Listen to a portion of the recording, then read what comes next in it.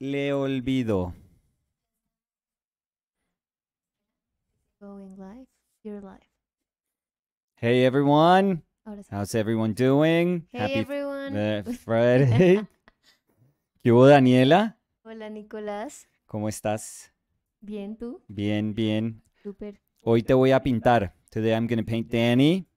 Uh, a nice profile.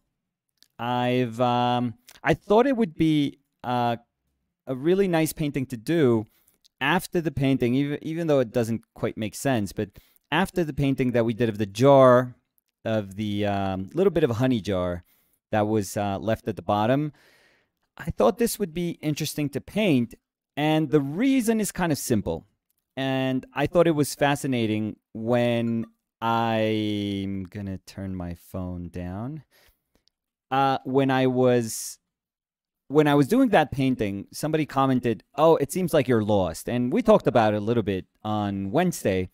And you know, the part of being lost does not bother me at all, to be quite frank, because being lost in a painting, I think that's the natural state of a painting. Um, and probably the more comfortable you feel and the more accepting you feel with that, you know, with that thought, um, then the more confident you're going to feel when, while you're painting because you know that that thought is never going going to abandon you. So I've kind of trained myself into understanding that yeah, feeling lost is like you know, trying to make a decision in life, like any decision in life, where, you know, you may want to do um, one of three things and you don't really know what to pick and you don't know what the consequences are when you pick that particular option. So, being doubtful in a painting, it's totally fine being lost because you have, you know, very little idea of how to traverse a painting. Totally fine too. Um, I don't think that confidence means that that notion disappears.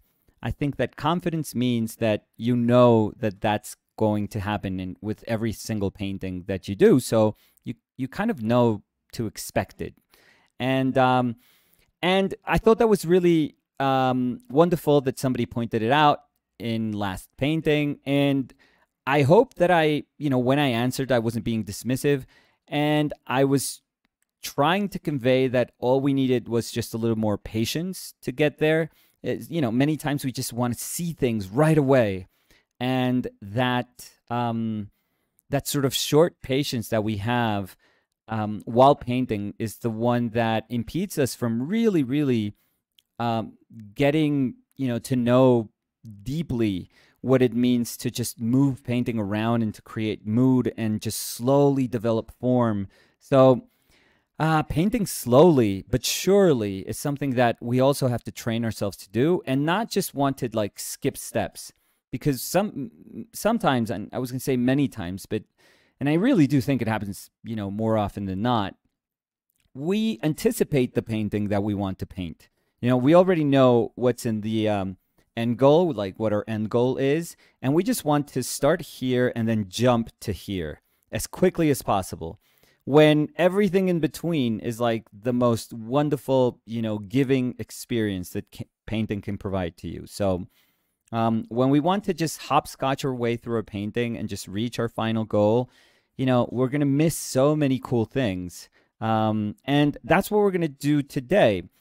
A profile usually is understood as this kind of super fine, almost like surgeon like, you know, uh, drawing that is trying to if you think about it it's actually super complicated because what a profile uh, you know like a perfect profile is trying to to convey is the feeling of three-dimensionality but through a very two-dimensional abstract notion of our portrait so it's actually super super fascinating and because um, it is trying to uh, portray three-dimensionality through that you know um, that contour line that has to be, you know, that tends to be super, super sharp, super clean. Um, when we usually see uh, see mm, profiles, and I'm thinking of profiles. Uh, let's see. I mean, you know, Madam X from Sargent, or um, my favorite is Dennis Miller Bunker. Um, I forget Danny, could you look for this painting? Could you look for um, just search Dennis Miller Bunker and profile? It's a it's a painting of a redhead redheaded woman. It's amazing. It's an incredible profile. But when I'm thinking of of you know Bunker or Waterhouse, for example, or Holbein, for example, um, eh, drawings, they're always like super super sharp. You know, Annigoni, super super sharp, super clean. So a lot of times that profile has to be really, you know, resolved right from the start in terms of drawing, and then Sorry, you know, is it this one? yeah, that one. Could you could you post that one? I mean, Yep. That's not going to do me any favors because that's like one of the most beautiful profile paintings that I've ever seen. But um, it's probably my favorite profile painting, by the way.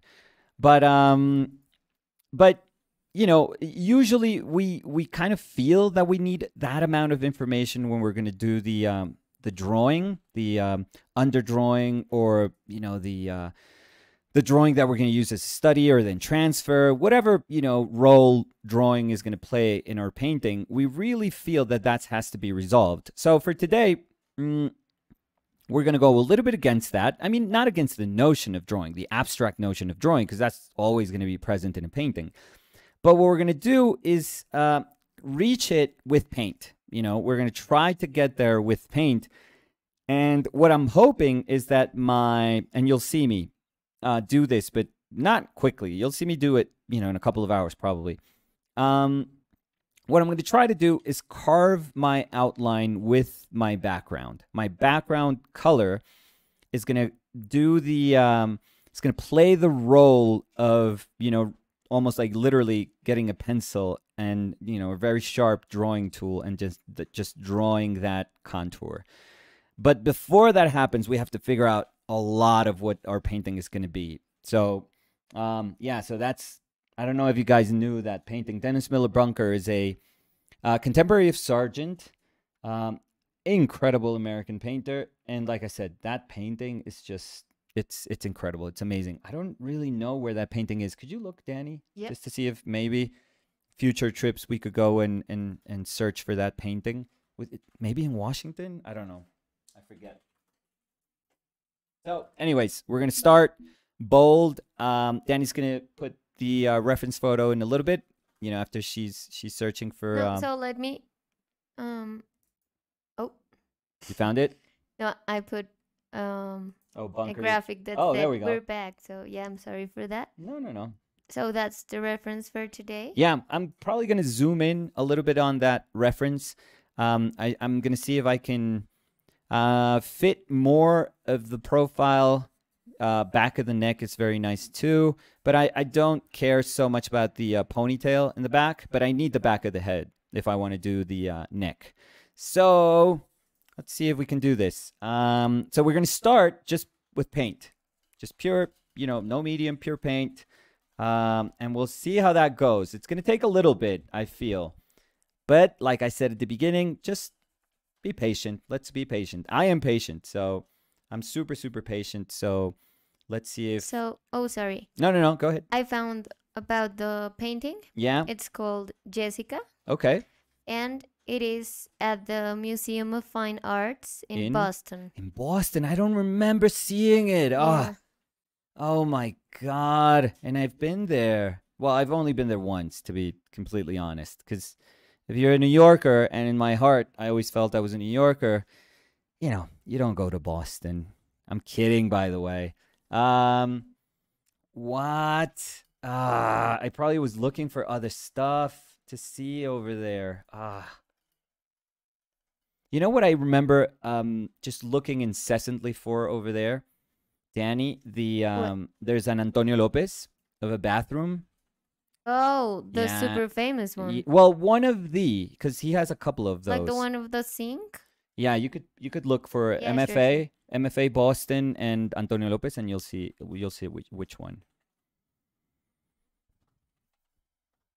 I would love to see an Antonio Lopez. Oh, they're amazing. They're amazing. There was a show. It was it was years ago. Um, but there was a show here that brought here in Bogota that brought a collection of the BBVA, the bank, Yeah. and they own a ton of Antonio Lopez, and they had um, they had those in, in, at the at the show. So it's really amazing. So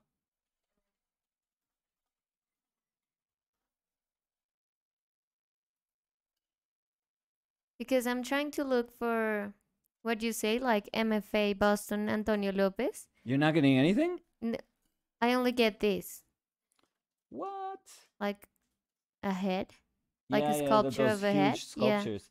Yeah, no, no, no. Oh, this there we one. go. Yeah, Yeah. that's the one. You want me to put it on screen? Yeah, maybe. yeah, maybe if there's people that are, you know, thinking about going to uh, Boston. And you know what was super sad, Danny, about that painting? What? Because I remember, um, you know, I was like, oh, I know there's a there's an Antonio Lopez here. I want to look for it, and I walked through what felt like a lot of the museum, and I was like, what am I doing? What am I missing? It's it's got to be around here, and I couldn't find it. I couldn't find it. So I I see a guard eventually because I never ask people for directions. Danny knows that about me. I'm I'm like super stubborn, super stupid. Um, and I finally asked somebody for directions, and they were like, "Oh yeah, let me let me take you to the painting." Because I was and I was like, "No, no, no, you just just just tell me where it is." And they were like, "No, it's a little. It's it. The thing is, it's a bit hidden. You know, it's a bit." You know, uh, just in a weird place, and I was like, "What? What does that mean? How can a painting be in a weird kind of spot?"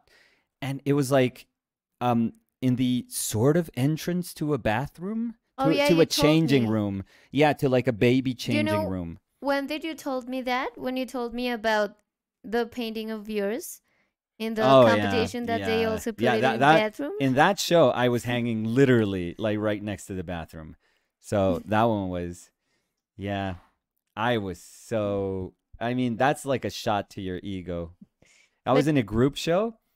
It was like um, a young painters from. Porque era el, el premio del Nogal de Arte Sí, Joven. de arte joven del Nogal, So sí. yeah, so I wasn't that young, but I was like at the limit that I could just send paintings to be in that show, and um, and I got in. But I was very happy because one of my students, Tatiana, Tatiana Cordova, was actually like a finalist, let's say, Yeah. and I was Oh, super happy for her too. I was super super happy for her. But I was in the show, and I was like, okay, that's that's kind of cool. So I'll just go see the show, and I'll I'll see what my paint, you know, how my painting looks like. And I go through the whole show, and this is no lie. And I was like, I'm not here. Like, I'm literally not here. What the hell? And uh and I walk around like a second time, nothing. And then eventually I was like, I don't know. I'm just gonna say, I'm just gonna ask something and I'm just gonna say something. But I had to go to the bathroom. So I was like, I'll, I'll go to the bathroom first and then I'll, I'll just ask. yeah, and then I'll just ask the curator, but I'm gonna. But I was doubting it because I was like, I'm gonna feel like an idiot. I'm gonna, because it's gonna sound like, you know, where's, you know, what gives? Where's my painting? Like, I got into the show. I, I'm clearly not, ha- you know, I'm clearly not not hanging the like. You're not hanging my painting. What the hell? So go to the bathroom, and as soon as I was gonna go to the bathroom, you had to make like a hard right. Like it was a small corridor to go to the bathroom, and then you have to make like a hard right and I I turned, you know, I did that hard right, and my painting is right there in that tiny little moment, you know, tiny little wall before you go to the bathroom. That's where my painting was hanging, and I was like, "Fucking," and I didn't say anything, but I was like, I was just not offended, but sad, maybe. And did you invited people to? Yeah, I had invited people Yeah. to see the show, But I and mean, a lot of people were like, "We didn't see your painting," and I was like, "Yeah, I don't want to talk about it." but I mean, it was a good story. Yeah. to well, great. now. oh, great. Yeah. That's that's what I wanted. A good story. Yeah. Um, Uh, I'm fighting with proportions because I know that I want to fit that neck. So we'll see. Yeah, but that that I mean, we always think that we're prepared for those things. Like our ego can take those shots, and um, I'm gonna say that I'm I'm pretty good at those things, like shielding myself from those things. I'm I'm not gonna say that I'm above them because no, there's there's always gonna be something that hurts you. But um, but that day, yeah, that day I, I felt sad. I felt really really sad and embarrassed. Like it wasn't even like pissed off. It was just kind of like embarrassed. Um, because I was thinking, okay, they probably they probably felt that it was like such a nothing painting that they were like, oh, let's hang it in the bathroom. Like, who cares? And that hurts. I, I feel that that hurts yeah, more than not just. cool because I mean you passed the convocatoria. How do I say that?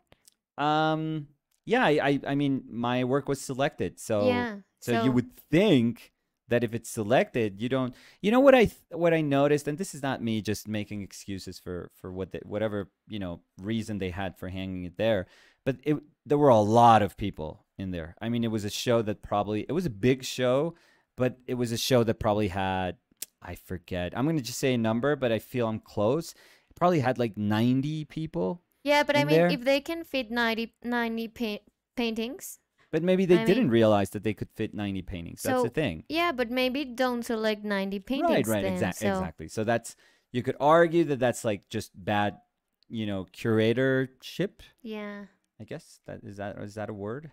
Mm, I don't know, but Yeah, it sounded it it sounded good. okay, right? yeah. Bad curate curatorial Work? practice. Yeah. No, no, Mm, one of those like- two. I'm sure that one of those two. I mean, I think people are getting what what you're trying to say. I know, but I'm curious because I, I don't know in English. I or don't know. curatory, maybe curatory work. No, I don't know. am I super I like off? curatorial Curatorial. Okay. that's closer to what we say, curatorial. So maybe, Yeah. maybe, So maybe you can correct us. How do you say that? yeah. Um. Yeah, but that's that was a painful moment. I think I've had with well, this was before we met, but Yeah. w- when we met, I had the um The one of the my aunt had. Remember? right, right, right. Yeah, Maybe yeah. You one? actually, yeah, you and your family actually helped me a ton with the uh, one going to Spain. Yeah. Yeah, yeah, that one. I was sad, but you remember when I got the painting back that I was like, uh, maybe it wasn't such a good painting. Yeah, yeah, yeah. Yeah, because I remember that at the time that you weren't selected, you were like, "Oh, but it was so good. I mean, it was so good." And then it came back and you were like, "Okay, maybe it wasn't that good." And and I think that's also super good. Yeah, because I I mean, time had gone by. How how much time? We probably like a Oh. year and a half, two years, maybe. No, I think it was More? No. 2017 maybe. Yeah, yeah, yeah. But after we got the painting, Oh, yeah, yeah. Yeah. So, yeah, like 2 years maybe. yeah, maybe two years that we finally got the painting back. And uh, when I looked at it, I was like, yeah, maybe not. Yeah. You know, maybe they were right. But that's good because that helped you um Oh, like, it helped. Yeah, and I even cut the painting. Yeah. I actually cropped the painting. I cut it. Oh yeah, because I remember that you liked something in the background. Was I it? like a part. Well, it got damaged. One Yeah. of, one reason was that it got damaged in the um in the shipping, Yeah. and the other one was like, it's not good. It's not that good. And finally, I was like, I really like this little bit of the painting. yeah. So I, I cropped a lot of the painting, and I was very happy. I, I think that what I was hoping to say with the whole body, I could say with the portrait, and um, yeah, so so that was good. That was Oh, good. I so- felt I oh. felt better. So Shade is saying curatorship is fine. There we go. Todd is saying curatorial is a real word, and Hector is saying I think it's curato- curatorial. Se me salió el español. Eh, love the stories you're sharing. Yeah, so it wasn't we weren't that far off. Oh, and Anania is saying what was the painting? Uh, I don't. Is it somewhere? I think it is. Uh, how how could we find it? Mm, Do you want me to? I can Yeah, go you to can search No, but I mean the one of uh, Juan. España. Yeah. yeah, you have yeah, it yeah. on Instagram, I think. You think so? Yep. Like I'm 99% Could you could you put Nicolás Uribe Juan? Nicolás Uribe painter Juan. I love. Don't you guys love when you have to Google stuff and it's just the stupidest? Like you feel like an idiot just putting like keywords. So here it is, but just oh here. Is no, it but all? Like, no, no, it's no, cropped. No, no, no, that's cropped actually. Yeah, because I don't know if I ever. Well, you could put that detail because that's eventually what I kind of cut. Really. That's what ended up.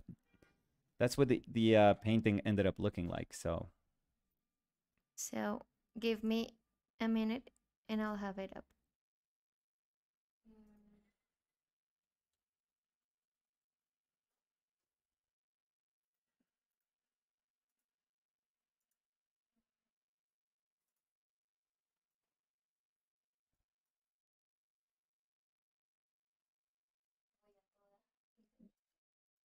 Dime? that I'm trying to go super fast. Oh, you don't have to. Don't worry. Um, so there it is. But I don't think you have the one of the bathroom. Like, do you have the image of the one that was Mm, shown in the bathroom? I, I don't probably so. do somewhere. It's a, it was of uh, trash cans. Some trash cans I painted in Boston. Um, I think it's called Boston actually. Of course, you know, a New Yorker being offended by the uh, trash in Boston. Oh my God, the humanity. Um, so maybe search Nicolas Uribe painter Boston. Yeah, I looked for that, but there's Um, no results. So No, no, that one's older. So yeah, it's one of those paintings where I would repeat stuff. yeah, Trash bins. I don't know. yeah, I'm looking yeah. trash. Mm, no, nothing. Yeah, I think you know where I think it is, but that's. I mean, you don't have to. We don't have to do that. I think it's in um my Facebook actually. It's probably yeah. Yeah, That's like a cemetery. yeah. So maybe for another day because that would take me like two hours. I know, I know. it's a weird place. Yeah. Um. So they're saying Tad. Uh. Oh no. Yeah. So Tad is saying, "Hey Nicolas, I just bought brought your painting to the framer. Can't wait to hang Oh, it up." dude, Tad, you're amazing. Like huge respect, dude. I don't think we've ever like exchanged um well, I think we've exchanged some messages, but um yeah, you're a crazy good painter. I love the uh, paintings that you do with uh little bits of collage that you kind of like glue on top of the painting. Those are so cool. Plus, I'm going to uh if you don't mind, Tad, um Tad makes or I don't know if you're doing them anymore, but he makes like kick-ass like cigar uh pochade boxes uh that are like super super cool so if you guys want to like a little painting box for plein air uh look for tads could you uh danny Yep. we we could probably uh, show the um tad tad rets Yeah. Tad, So is it in the web page? i Maybe? think so i think so. Dude i i was so um almost wanting to buy one of those because they are so damn cool. But um a paint box is lost on me honestly. I i do have one. I, I just don't use them that much. And uh my plein air painting is super not good So so this one, yeah yeah. Like I could copy the link. yeah. oh there you go. So the reds box. That's awesome. Yeah. Thanks danny Oh, that's fine. Mm. Oh, so Shade was saying, "Oh wow, it's a blo- it's bloody awesome, the painting that you did," and Samara was saying, "Such a good painting, Nicolas." Well, thank you, thank you. That was part of the painting, though. Um, it was a larger painting. It was a a large like uh full figure. It was it no, not one to one. No, I guess just a little bit a, little bit uh smaller than life Yeah, yeah, yeah. size, but but it sitting was pose. But it was a large painting. yeah, it was big. It was like um uh, 180 de Yeah. alto. yeah, I, I I think it had 180, which is six feet. six feet, so around six feet tall by 1.50 era. 150, maybe. So five feet, six by five, maybe, if I'm remembering correctly. Mm, so some time ago, um, I don't know if I'm pronouncing your name okay, but it is Julija, or I don't know. Can you help me, Nicolas? It is Oh, I'll try. I'll try. J U L I J A. Oh, maybe Julija, maybe. Yeah, maybe. So they were asking, can I find Or it's Julija. maybe it's Juliana or Julio. no because or... it's the um, the last name I guess Okay. is G O J D I N A. J Like Gosh Goshdina maybe? maybe. I or, don't or Goy, like the J. Sometimes maybe? it's like an I. Danny. Yeah. They were asking, can I find the find the reference somewhere? So we're now we don't post the link for the Dropbox anymore. But if you want, I can make it a little bit bigger um in the screen and it's going to be on screen all the time that we're live. So if you want, you can paint along with us. Yeah, or just um, like grab a. Could you make it just a, a, little bit bigger? Yep. Like for a little bit, um, maybe like a minute, so that they can screen grab it if they want, Okay. and um, so, and then we'll we'll whoa. Look at that big big Danny. oh, then I, now I Yeah, can do like terrible. now now I can do like sight size. I feel, um, which I've never done by the way. Yeah, so maybe you can do a, screenshot. Yeah, Danny's like, please quickly. Yeah, yeah, yeah. That looks um You look amazing. super detailed. No, you look great. Love your pores. Okay, so we're going back to the tiny Danny. Oh, you gave them like no time. Yeah, that was. But you know, I mean, you can no, pause. that was You good. That can was good. the No, video. that was good. I mean, that was that was tough for Danny. Um, Honestly, all you need is like a second. So uh, so, eh, William Felipe había dicho, uy, sería re chévere alcanzar a pintar el Mickey del saco, pero creo que no alcanza. no, no, no. Me concentré más Ay, en no, el. quité la referencia, Ya, sorry. Me concentré más en el. William, me concentré un poquito más como en el cuello, parte de atrás de la cabeza, tope de la cabeza y, y en lo que va a ser como ese, ese dibujo que, que tengo que hacer de, del perfil, como llegar hacia ese dibujo. Ese es como el, el objetivo hoy. Entonces, de pronto, pues sí, la parte de abajo hubiera sido como chévere, pero creo que ese saco tuyo de Mickey ya lo pinté una vez, ¿te acuerdas? Creo que sí, pero muy chévere que William cogió de una que era un saco. De un saco. Un Un saco, pues, sí, que perdón. el saco era un saco. Era un Mickey. increíble, William. Súper, o sea, un águila, un halcón, un halcón, William el halcón, Que era un súper Mickey. observador. Ya, que era un Mickey. Porque mira lo que se alcanza a ver. No, pues la oreja gigante No, negra y los dos ojos. Mi primito me ha visto con el saco y no identifica a Mickey. Mm, ¿cuántos porque años tiene tu Mickey, primito? Cuatro. Gracias. La respuesta súper rápida, súper rápida esa respuesta. Eh, mm,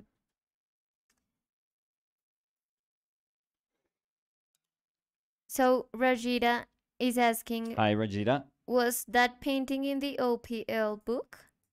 The one Uh, of Juan? I think it Yes, was. yes, yes, in the uh, Like, but in the the painter book, right. not in the OPL Right. book. Yeah, so in the accompanying one that was not the sketchbook. and uh, in the big one, I was.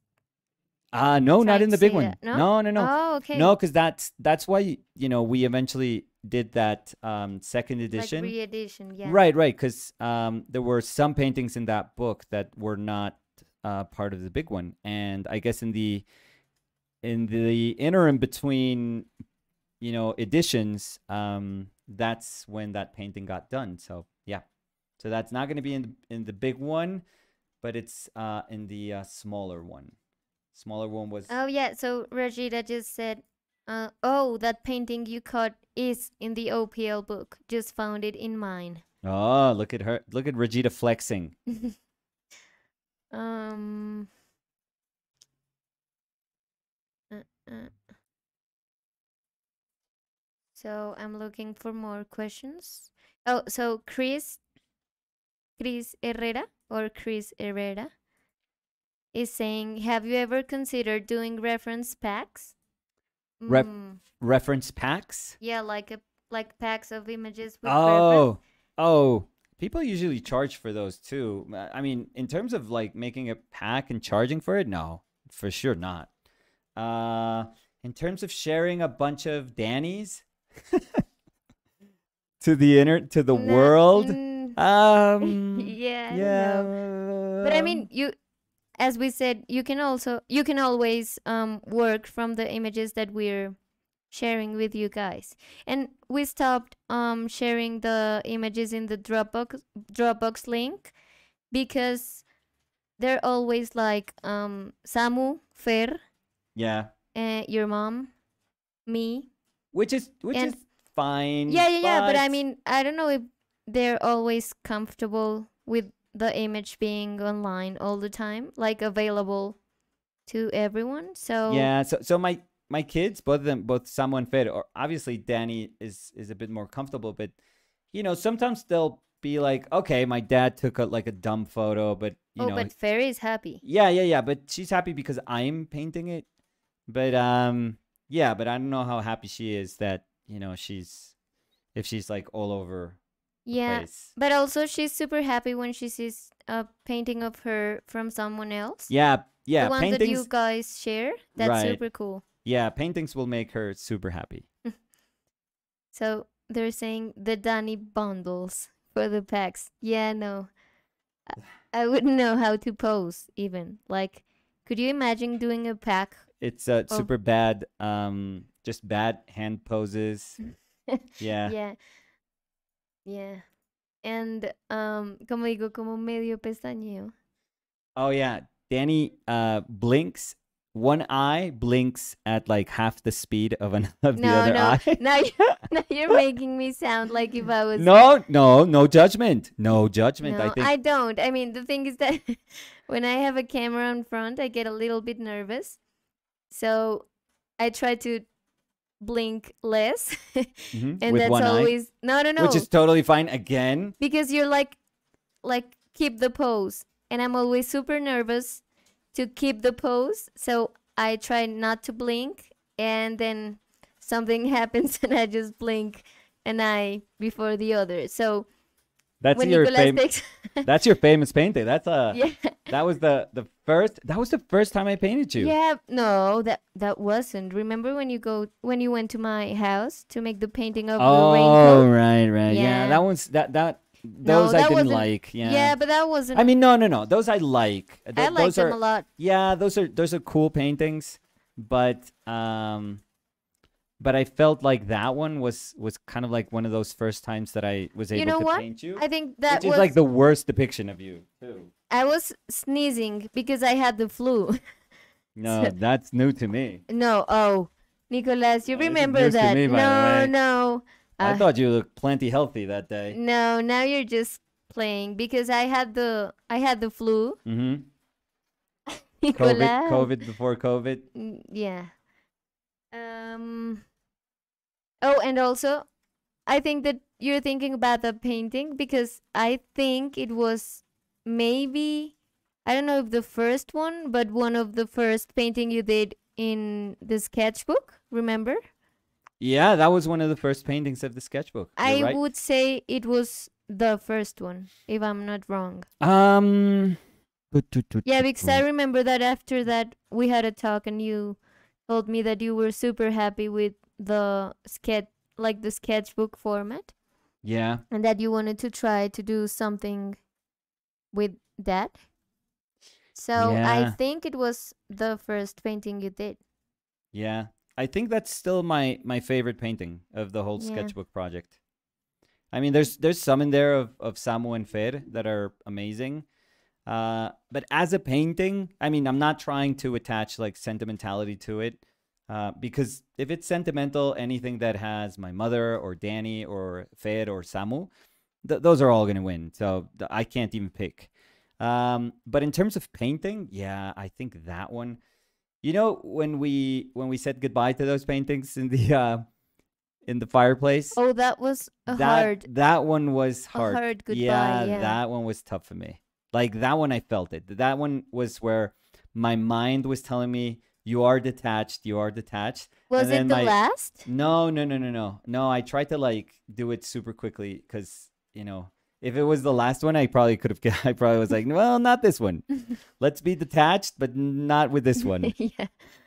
Um Um, yeah, that one that one was tough. I remember. Like I was I thought I was ready and then my my heart was like, "Oh, like no, not this one." And but that's when I knew that the exercise was cool. Like the exercise of detachment was good because if you don't feel anything, then yeah, who cares about like throwing stuff away that you don't care about? Um, but it has you have to feel something. You have to feel a sense of of like oh my or, or doubt or like why am i doing this like what is what's going on why am i doing this um yeah i certainly i certainly felt that i feel Um, So Rosalie, Your head is getting oh. bigger. No, no, no. I'm sorry. I'm just complaining. you scared me. Yeah, yeah, it's just getting bigger. I just feel that I'm so bad. By the way, this is not what this is the reason that I don't do like barg drawing. I can't do it. I really can't. I'm just not good at it. And um and like right now it feels good, but it's just getting bigger. Like my plan was was hopefully to have you know space for the back of the head to go down and then just a little bit of the uh the ponytail. I mean, it's fine, but I just don't want to be content with with saying, okay, not what I wanted, but yeah, because this is getting lower. Ah, fuck. Yeah. So no, that's good because this is nice, but it's not what I wanted. So, um, it's gonna be like fair, green fair all over again. I Yeah. can sense it. Yeah, I can feel it. So Mm. let's take the uh, band-aid. You know, let's pull that band-aid out really quickly. Well, this is not doing Yeah, anything. I thought I was gonna be like, all. let's scrape it all. Yeah. And this is like, oh my god, it's looking better. Um, yeah, no, no, no, no. We have to, we have to fight for the painting that we want to do. So yeah, so let's get rid of that. It's probably smaller. Come on, come on. So when we were talking about the um, reference packs, Yeah, Rosalind said, "Danny in the Ernie chair cover shot." Oh, that was yeah. That that was a chair off the oh, street, by and I'm way. sorry, that was my idea. That was yeah, and the chair was super funky, Yeah. like really funky. Yeah, because because it was a, a chair that someone led in the street, yeah, they like for they the the- yeah. garbage car. To Yeah, but to you could tell up. that it, it was you know it, it had been a couple days in the street. Oh yeah. Oh, it was Yeah. pretty funky. Yeah. Yep, yep. Um. So Todd says, "I spent ages looking for references. Your still lives could be shared without being weird. Honeypots and beanbags. It's it. It's Yeah, yeah, yeah. No, that's totally that's totally fine. But why do you feel it's difficult to find reference? Like I would ask that first. I, I'm not trying to find a way to not share reference. I'm just very curious to know why is it that you feel that it's tough? Because you could really paint anything. And also, if we're being a hundred percent honest, um, this picture. Mm-hmm. We get our reference from reference packs. No. No, we're not. No, we don't. That's this not, is not really Danny. me. Yeah. This is not Danny. Um we took that pi- picture like maybe 10 minutes before Yeah. we started recording so it's never like super planned or anything like that so i mean i think that everyone could try to take their own reference and be super happy with the references they get don't you think Yeah, as practice, you know, as as part of painting practice, for sure. Yeah. mm, It was looking so nice. It was like a nice start and then it was gone. Eh, Julio Melto dice, Ugh, entre justo que estás desarmando la figura y no entiendo inglés, jajaja. Si quieres puedes explicar No, un sí, sí, poquito de lo que... No, es que es que me dio bronca porque la, la proporción estaba ya muy grande. O sea, quería que me cupiera me cupieran como unas un- y había decidido eso desde el comienzo. Y yo me termino como emocionando mucho cuando trato de modelar la forma y lo que siempre me termina pasando y en particular con retratos es que pues si veo un retrato yo creo que lo quiero hacer más grande, o sea, si tuviera este espacio para hacer un retrato y lo tengo que hacer así, voy a quererlo hacer así. O sea, y si tengo este espacio y lo tengo que hacer así, lo quiero hacer como eh, tres cuartos de la página. Y si me dan el- la fachada de un edificio, yo creo que quiero hacerlo como fachada y media. Entonces, es, es más como, no sé, una falta de control mía o, o una respuesta mm, un poco irresponsable a, a mi, como mi sensibilidad, supongo, como que me dejo llevar por lo que me atrae mucho y entonces pierdo, eso está bien, pero hay veces pierdo, mm, pierdo como el norte y pierdo lo que quería hacer cuando estaba, pues cuando decidí pintar algo, entonces toca encontrar como un punto medio, entonces me dio, me dio rabia, pero aquí vamos a, eventualmente lo vamos a encontrar, seguro. So, when you were talking about the green fair painting, Yeah. Bryce Liston says green fair is one of your best. Oh, thank you. That's awesome. Thank you. Thank you so much. Mm, That's super cool. and talking about references, Todd said, "I guess I'm too pre- precious with references, looking for decent light, etc." Yeah, but all you need for light, uh, Todd, is uh, a window. And if you don't have a window, which is totally fine, uh, just a lamp, you know, a bulb. Don't even call it a lamp so it doesn't sound sophisticated. Just a, a light bulb. That's all you need. And with that, you can make so much with like single, single light, um, a single light as your as your um, as your light condition is absolutely perfect. If you have a window with, you know, north light or any light, honestly, and if it's too much light, if you feel it's too much light, here's a super cool tip. Just grab some newspaper while some bike just is out, you know. I don't know if they can hear that. Uh maybe. But uh yeah, just grab some newspaper, cover your whole window and just leave like a tiny bit like a tiny little window of of light. So let's say maybe a 9 by 12, 11 by 14 kind of little window and that's going to be your light source. And you're going to see it's amazing. It's absolutely amazing. Um, Squars Yeah? is saying, "I have a window." Ciao. Ciao, squad. it's, Italiano. It's Italiano. Yeah, yeah. Italiano. Um, they're saying, "I have a window. I don't have the subject. My girlfriend hate to be my model." So you can paint yourself. yeah. Yeah, you're always you you always have yourself. So And Todd uh, says, "Thanks. Maybe I'm just very, very good at procrastinating uh, uh, about taking the references." So yeah, yeah. Yeah, just, you know, start with something super super simple and you'll see that you can find um you can find immense pleasure in just painting something that's that's really really simple like a interesting subject, but it could also be like a simple subject. It could be like a like an apple or like a peach, whatever.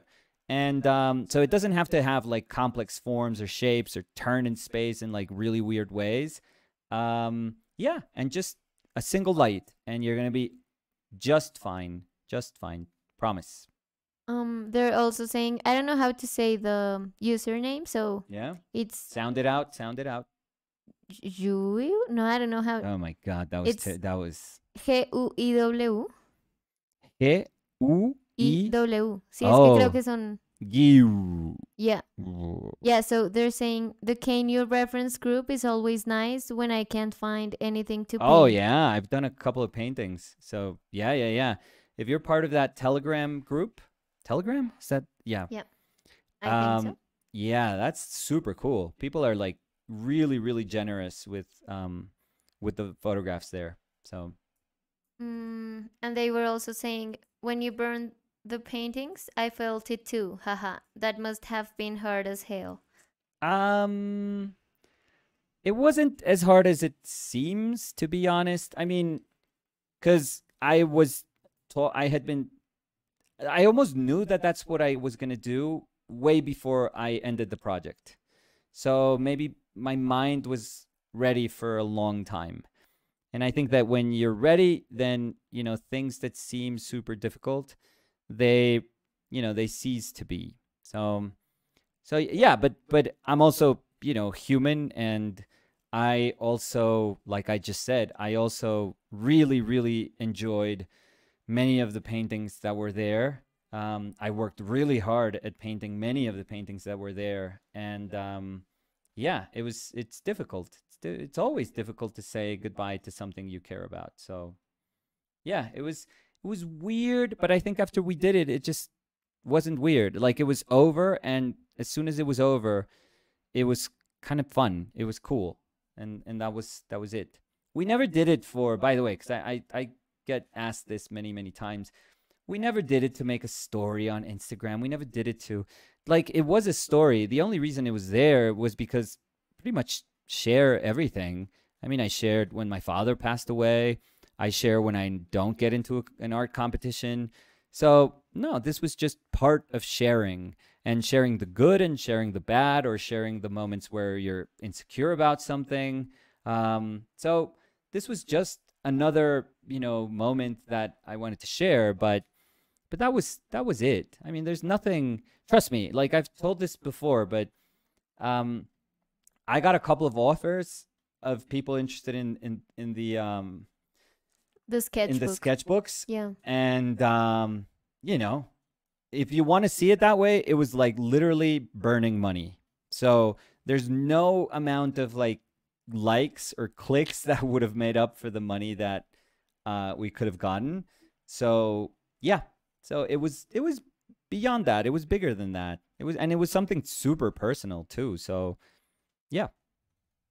So Irving Torres was saying, Danny, you speak really great English, and grande Nicolas. Dani No, sobre todo con lo nerviosa que me pongo. no And Nicolas, let me tell you, you speak native Spanish and native English levels. That's really hard to do. Usually people speak one way better than the other. So, yeah. well thank you thank you mm, William Felipe dice, uy, sí, cuenten esa historia, como, ay no, ¿cuál? como fue la primera vez que Nicolás pintó a Dani, yo ya sé qué bobada va a decir él. No, la primera, la primera primera. Sí, cuando tú fuiste a mi casa. Ah, pero pues puedo decir, Pues sí, lo que, a ver, yo voy a contar mi parte. pues cuenta tu parte si Eh. quieres, pero yo también puedo decir lo que, lo que yo vi, lo que presencié. No, pero cuento mi parte, va a sonar peor. Bueno, cuando el celador No, avisó que Nicolás... vigilante, vigilante también de pronto. ¿Sí? Cuando Sí, el vigilante... Celador, no sé si. Perdón, pero así, pues, o sea, no lo No, no, no, digo, no, no, no, no, no es, no, no, no, sino que no sé si la gente entienda, como el vigilante del edificio. Sí.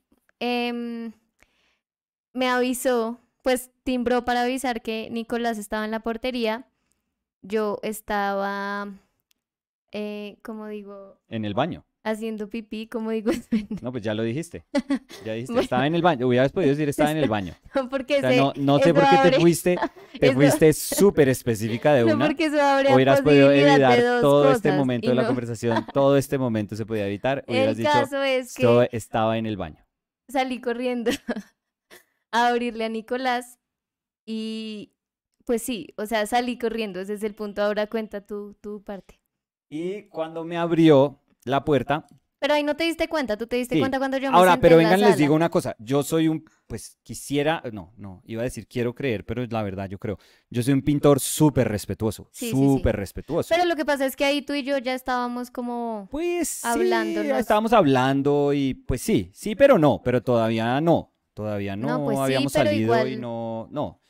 Y, y pues yo igual soy, yo, o sea, yo era súper respetuoso y estaba yendo a, la ca- a tu casa, o sea, a la casa de tus papás, Sí, sí. o sea, yo tenía eso súper claro. Entonces yo, por ejemplo, muchas veces si voy a pintar a alguien, si le pido a alguien que si me posa, y yo, por ejemplo, con, con personas, eh, las pinturas que he hecho desde hace ya mucho tiempo, yo no le pido a, a las personas que se desnuden. Yo cuando hago desnudos no, normalmente trabajo con, Modelo, con modelo. Sí. Como en Em, un taller o... Y si pinto un desnudo es porque ya después conocí a una persona lo suficiente, o sea, estoy en una relación con una persona y me siento como tranquilo, pero, pero del comienzo yo nunca pido como, ay, hola, soy Nicolás Uribe, ¿será que te puedes empelotar para que te pinte? No, no. Bueno, eso no. pero continúa, te Pero fuiste súper por la no, no, no, porque pues yo trato de ser respetuoso, entonces yo siempre digo, oye, pues eh, si puedo pasar hoy y pues y yo siempre trato como de curarme y entonces le digo a la gente, pues si quieres puedes estar con tu novio, tu novia, tu pareja, tus papás, no, o sea, yo siempre le digo, no, pues que haya alguien y no pasa nada para que no haya como nada raro. Y Daniela me abrió la puerta con la cremallera del pantalón abajo. No, la mitad, porque... La de cremallera. No, Nicolás, fue- pantalón obviamente yo abajo. estaba súper apenada. Porque sí, después claro, sí. Yo le dije, ay, sigue a la sala, ¿cómo estás? Bueno, y me iba cremallera a sentar, abajo. no, me iba a sentar, ¿cómo se dice? Eh, con las piernas así. No sé, con las piernas, con la cremallera No, abajo. Como con las piernas cruzadas y vi que tenía la cremallera abajo. Sí. Y pues yo dije, pues ya hice el oso. Y yo le dije, ay, qué pena tenía la cremallera abajo. y me Mm. la subí y él como, sí, no, eh. Y te pusiste un poquito rojo y fue como, sí, no, pero pues tranquila, no pasa nada, yo no iba a decir nada.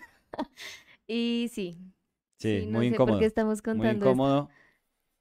muy Eh, incómodo. Sí, sí, sí, sí. Y eh, voy a buscar la primera pintura que hiciste Mm. para ponerla y poder cambiar de tema rápido. Pues tú fuiste la que, o sea, tú fuiste la que dijiste que estabas en el baño orinando Ya. y también quisiste que yo Oye, hablara. A mí a veces se me olvida que esto queda Sí, en internet. o sea, Fer en. Fer en cinco años. Sí, no. O mis papás escuchando Sí, dirán, no, sí. está. Sí. No, y yo le dije a Dani, primero invítame a almorzar. O sea, No, pero eso sí me lo dijiste después molestando cuando ya estábamos chiste, saliendo. Sí, sí, un chiste. Eh, Esas invitaciones así no, no. sí, no, qué vergüenza. Mm, no sé si alguien esté diciendo algo. No creo. Eh, María Elisa dice, jajaja, amo que compartan esta historia en vivo. Sí, yo, Sí. María Elisa, yo no sé qué tan arrepentida estoy de haberla sí, contado. Tú que eres mucho más privada que yo. Sí. Es que a veces no, se me yo olvida te que... copio, yo te copio. Si tú quieres hablar, yo, yo te copio. Yo sigo. Y Julio Melto dice, jaja, qué gran comienzo. Gabriel Pozo pone una carita riéndose. Sí, terrible. Eh,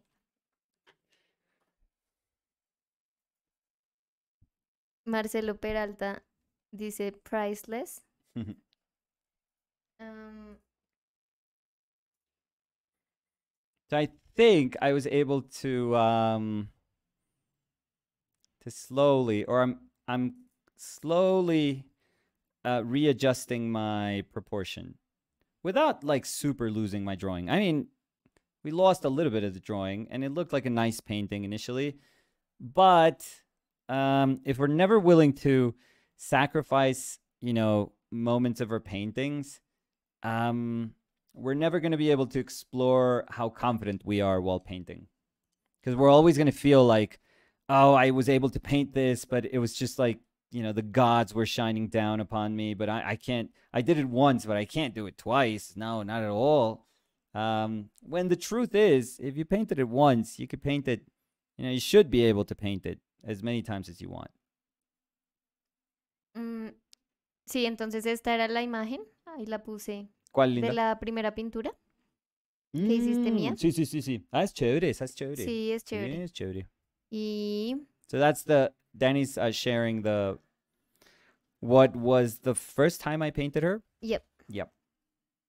um, Mm, So, uh, so they're saying Arman is saying, "Hi, you're so talented, Nicolas. Can I ask who is she?" Um, she is me. ¿quién- yeah. Yeah. So She's Danny, my partner. yeah, so I'm Danny. Is this us?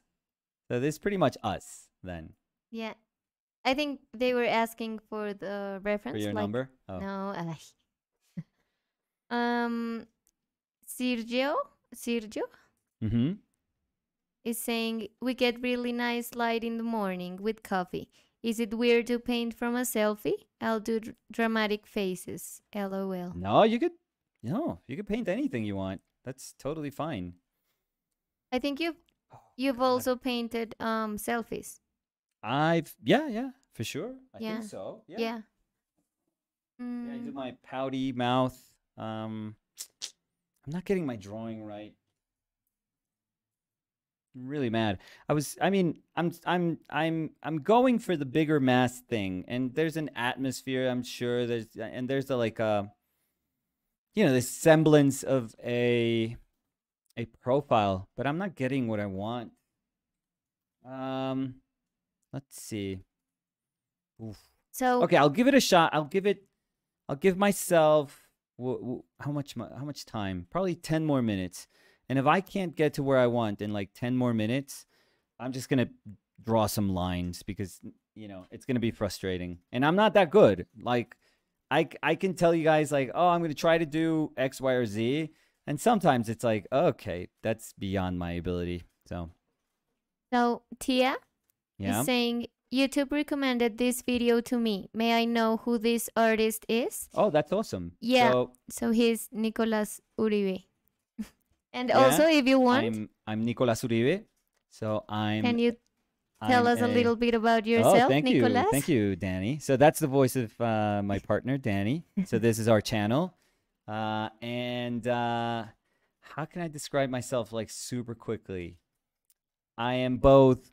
So I am. What am I? I'm. Am I Colombian American Born or, in the United States, or but American Colombian American Colombian? No. I'm Colombian. So Yeah. I would I would always say first Colombian. So uh, so I'm Colombian and I'm a painter. I've painted my whole life. I went to school to study painting and then I did short, a very short time.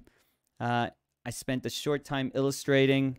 Um, that's my love still, I feel. You know, I, I really di- like narrative in painting, um, storytelling in painting, but it sort of devolved into into just um I don't know, like a willingness to paint. It didn't matter, you know, at some point it just didn't matter what I was painting, you know, if there was a story tied to that painting. Um it none of that mattered and it was just it just became about painting. And for the past couple of years I think that that's been my life just trying to understand what that means that if you divorce yourself from the sort of the resulting painting, like what's left. Um, and yeah, so I've been exploring that, like um, what is left, you know, after you decide that the object of painting doesn't quite matter that much. And that's what I've been doing. It sounds really weird when I try to summarize it um, in a somewhat succinct manner, but yeah, that's that's been the last couple of years. I feel. Yeah, and also if you want, um, his username for Instagram is on screen, so you can check him out. and we have a What? a web page also Oh, that yeah, serves as a star as a storefront. Oh, I should do um, yeah. a graphic for that too. Yeah, so if you want to check it out, it's ourpaintedlives.com. so oh, it's the I'm gonna same as the um, same as our YouTube channel. So there you go. Oh, and they're saying thanks for the reply. No, sure, sure. Yeah, and, and we're happy that you joined us. Mm. So they're saying, mm, Anania is saying, detail or atmosphere, I always pick at my drawings and ruin it by focusing on specific details with my little brush. How can I improve? Well, Ananya. So you know, bigger brushes. I mean, the, and these are not that big. If you look at Benjamin Ben Bjorklund, I mean, they're house painting brushes. So yeah, this is. Um, I guess I could go bigger. I, I guess I would still feel comfortable going bigger. Um, but yeah, and keep them for as long as you want, for as long as you can, also. But that's that's key. Big big brushes means that the tool itself is forcing you to see bigger relationships, bigger planes, you know, bigger plane shifts. Um, so there is you actually have to make uh, a strange effort, like almost like an unnatural effort, if you wanted to um, if you wanted to focus on smaller detail. So again, tools are going to be your best ally, and um, they're going to help you kind of not uh, be prematurely attracted by those things. I would say that that's the proper way of describing it. Um, Charles Ramírez says, Nicolás, ¿prefieres el papel o la tela? Uy, en este momento, papel. Pero voy a tener que volver a pintar en tela.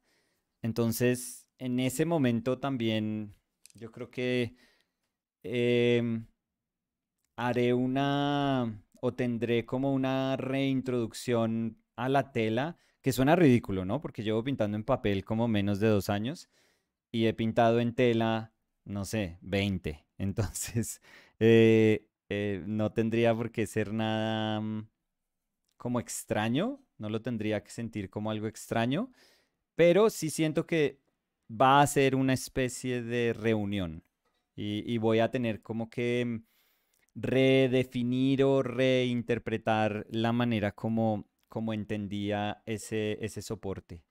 Vamos a ver, es interesante, estoy como estoy ansioso por, eh, o expectante más bien, por ver cómo, cómo siento esa, mm, esa reunión. De pronto puede ser como, ah, sí, o sea, es tela y ya. O sea, no, no, no tenía tampoco tanto misterio volver a, a, a ese soporte. Pero, pero creo que va a ser un poquitico más complejo que eso. Um, Liad says, Hey, Liat. Nicolas, do you like how you paint now compared to your older paintings? I like you more moody, atmospheric paintings now more. Oh, thank you. I mean, there's some paintings, I guess, back in the days, back in the day that were moody and atmospheric also. Um, because that effort has been part of me for a very long time. I think that in in trying to um in trying to develop my own painting, I've I recognized, you know, throughout many years, throughout the years that I've been painting, that one of the things that was always there was was atmosphere, was just this heavy kind of um I don't know, foreboding, you know, gloomy atmosphere, like drab, dreary, you know, however you want to call it. But uh it, it's it's always been there. So um I've I've just I've noticed that I'm more I'm just far more conscious of it now and I'm far more familiar with it now in the sense that I can um, feel comfortable and say, okay, this is me.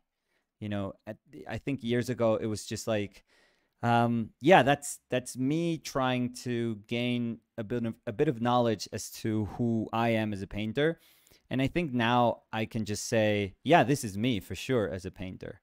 Like I, I don't have to be apologetic about it. I don't have to explain myself. I don't feel I have to explain myself at all.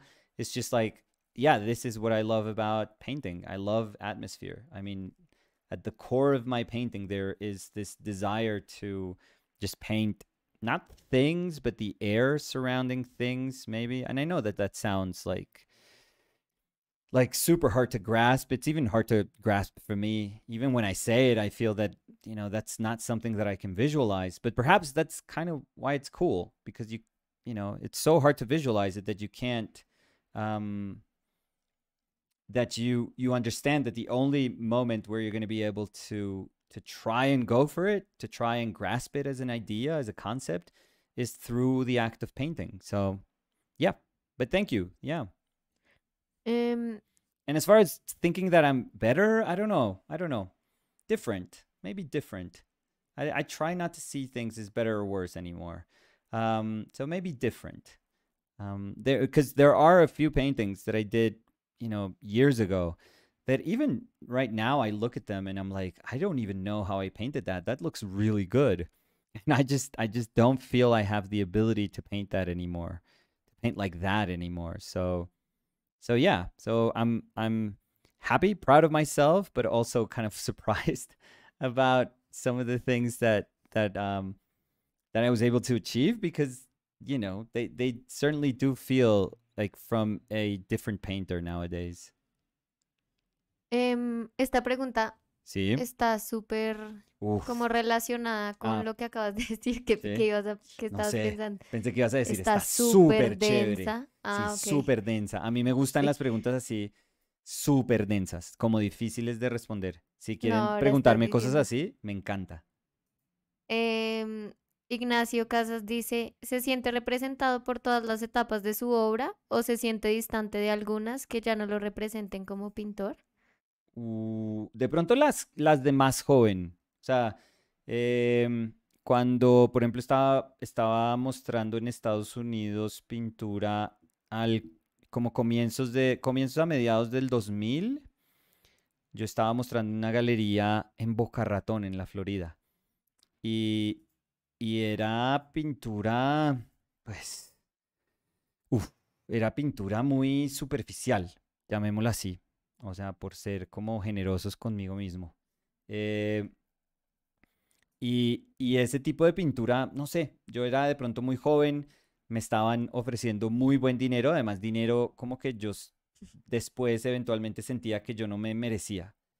Eh, pero, pero pues para mí era súper atractivo decir, uy, pues yo estoy en esta galería, así no sea, o sea, yo pensé que yo iba a terminar pintando en Nueva York y terminé pintando en Boca Ratón en la Florida, o sea, la diferencia es gigante, pero, pero, pero igual podía como justificarme a mí mismo y decir, no, no, pero pues bueno, esta es una galería chévere porque era un espacio súper bonito eh, y, y el tenían un mercado absurdo y esto era como antes de que se reventara esa burbuja de arte, entonces la gente estaba pagando lo que fuera por arte. Em, y, y pues me fue muy bien en esa etapa, pero pues nunca estuve como orgulloso de lo que estaba haciendo, nunca.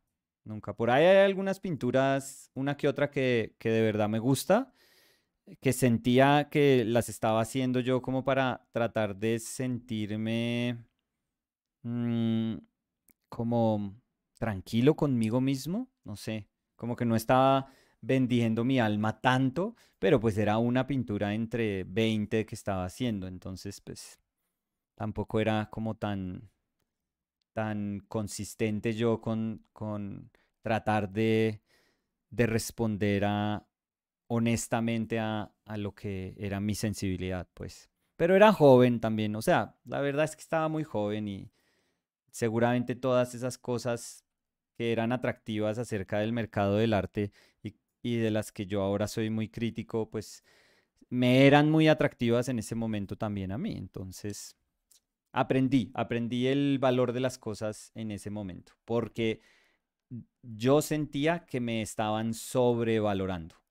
O sea, yo sentía que yo no tenía por qué ser visto como, como un pintor tan bueno, como un pintor maduro, cuando realmente estaba comenzando y que me sentí siempre muy incómodo cuando la obra, la obra mía la, la mostraban con precios que no, pues que yo sentía que eran absurdos, que eran infladísimos. Entonces, esa etapa, digamos que la recuerdo con cariño porque fue el comienzo, pero también la recuerdo como, como, como una etapa, pues no muy, no muy chévere dentro de mi proceso porque, porque sí fue, no sé, yo creo que yo no, no estaba listo como para darme cuenta de lo que era como un mercado del arte y pues me tocó súper rápido tomar muchas decisiones acerca de mi trabajo y, y pienso que si hubiera seguido en, en ese como en, en, ese circuito, pues seguramente económicamente me hubiera ido muy bien, pero pues yo estaría como muy descontento conmigo mismo, entonces hubiera sido muy difícil. I'm Eric is asking, what size are your brushes? So let me see, because I don't really know. Um, eight. So this is an eight. This is a seven. Da Vinci. So Da Vinci bristle seven. This is a filbert. A what are they called? Um, ivory filbert from uh, Rosemary. That's a eight. That's a what? Yeah, eight. And this one is an eight also. So yeah, so pretty good. I mean, they're not. I would say medium-sized brushes. I would say they're not big by any means. Um, JC Arana is saying, How can I avoid oversaturated skin tones? The colors mm. look perfect when I mix them, but they never work when I paint in paint it on the canvas. Any advice? Mm. Mm. I mean, that's like a super specific um, issue. Uh, what was their name? I'm sorry. JC JC. So Jay Z, yeah. So yeah, that's a super super specific issue. I feel, mm, but ideally, if I have to be honest, dude, if it looks good here, it should look good here. Like if if your mixing in here is coherent within the context of your palette, and I'm not saying palette as the colors that we paint with, but you know the color relationships that you're already trying to establish within your palette. Like if those work here, they should work over here. So I would say that there there's something kind of missing there where you feel like there's a disconnect happening where you feel that like you're doing a good job here palette but then as soon as you apply it something happens and it doesn't work. That shouldn't really be happening. So first thing i would tell you is we have to look into that because that shouldn't be the case because m- many times when you struggle with a painting like when we struggle, um, sometimes the painting is just a you know super easy one to one relation to the decisions that we put in our in our palette. So let's say if I'm doing a workshop and somebody is favoring, let's say, I don't know, the warmness, uh, the warm um, kind of part of the uh, temperature that's available in your palette, or they are making a hue dominant in your palette. Like let's say they are using way too much cad red, for example. If you see the painting, you would be like, wow, you're using way too much cad red. And if you go to the palette immediately after that, all you're going to see in the palette is a ton of mixes that are um, affected by cad red. So what happens here is going to show up here. Like this is the consequence of all the thought process that goes in here.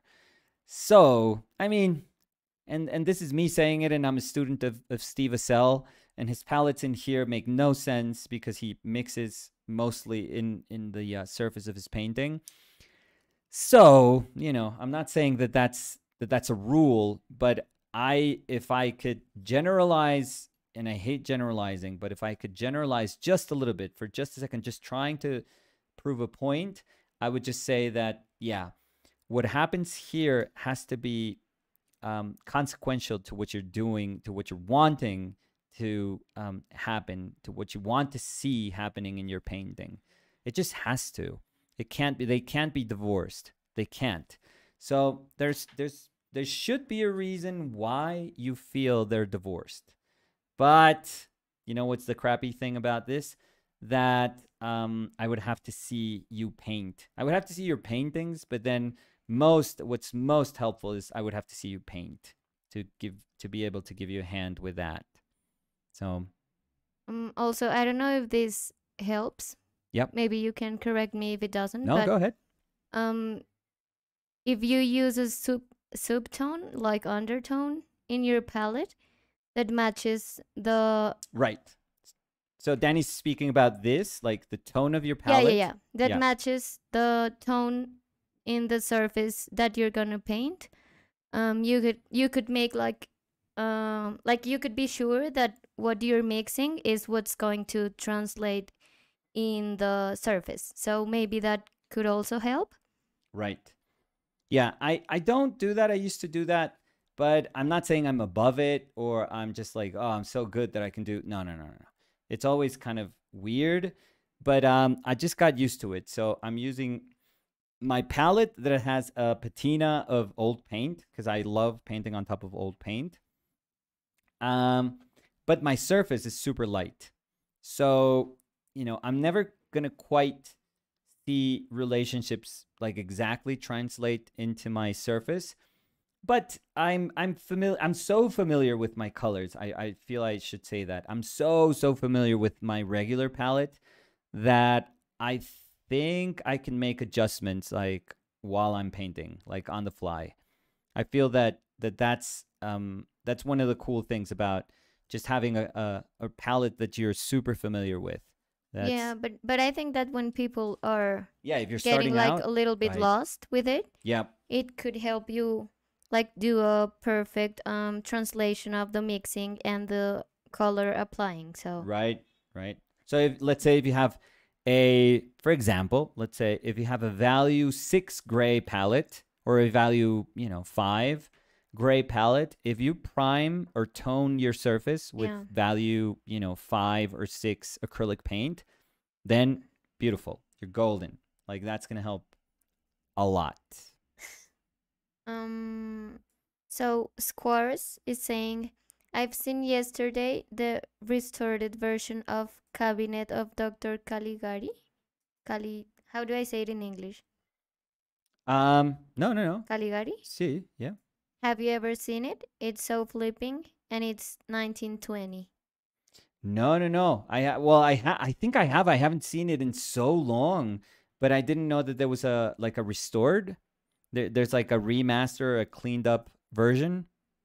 And is it available online, Squares? So maybe we can check it out later. Mm, cuando estabas hablando de la galería en la que estabas haciendo pinturas que no estabas tan contento con ellas, Sí.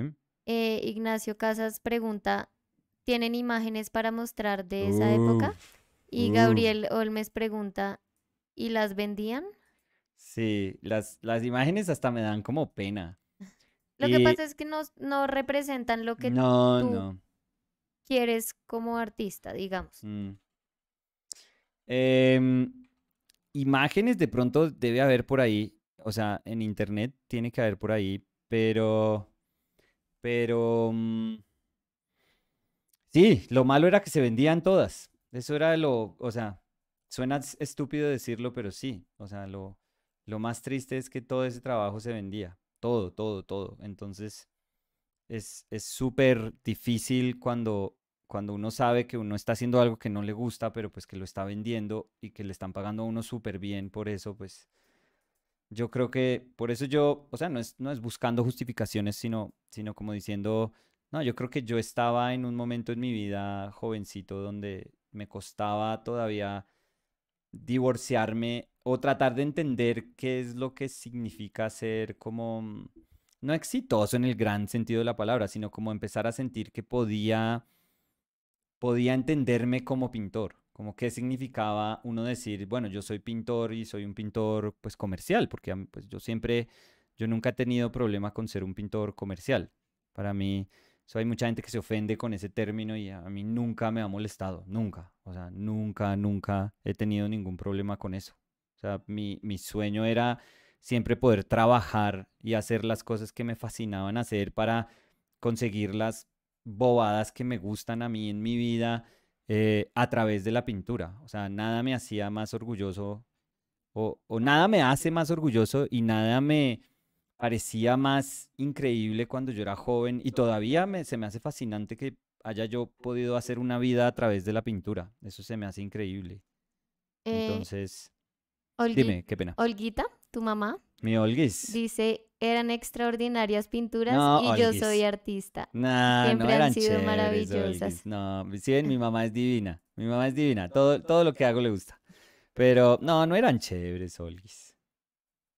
So Callum says, could you maybe talk through how you section your palette when you work? Like where you mix lights, shadows, half Yeah. halftones to make your work coherent? Right. So I'm not the best at that. At that. So let's establish that. And I should be a lot cleaner with my palette. But the thing is, my own painting just lets me not be as clean as I should be. Because I just love grays, midtones. I, I love, you know, tiny hue changes in the midtones. So there's a lot of what I really, really enjoy about painting that I can access by having a sort of dirty palette. That is the truth. But ideally, there should be areas where you can sense that I'm painting lights, where you can sense that I'm painting midtones, where you can sense that I'm painting darks. And once I have like my puddles of, you know, midtone, light, and darks, I can kind of shift those values, those, you know, and hopefully they're values that are close. I can shift those values and, and vary those values within a value range, like within the midtone value range, within the dark value range, within the light value range. I can shift those um, in terms of hue, so I can make some areas uh, more yellow. I can make I can make them pinker, a little more red. Uh, I can make them a little um, yellow green in here, like slightly yellow green in here. So yeah, so I just very organically navigate my palette. Is it super clean? Nope. Is it the best palette practice? Oh, for sure, for sure it isn't. Um, but it just I think it fits my way of painting, and hopefully the the um, the justification for if it fits or why it fits it's always like in my painting you know there's nothing i'm not doing anything weird it's just a piece of paper this is just colors no medium so there's nothing weird. There's nothing kind of like exogenous to just color and color mixing and applying paint on a substrate. So you know you could you could just you could argue that the core of painting even if it's a gray painting and even if it's a muddy painting because I, I am a muddy painter but the core of painting is what interests me the most. Just color against color against color. That's about it.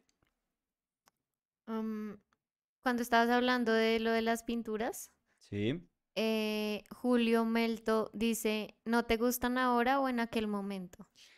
en a- y en ese momento también no, yo sabía que estaba haciendo pinturas, o sea, yo me convencía de que estaba haciendo pinturas chéveres, pero pues así que yo dijera, eh, estoy orgulloso de esas pinturas, no, no estaba tan orgulloso, la verdad.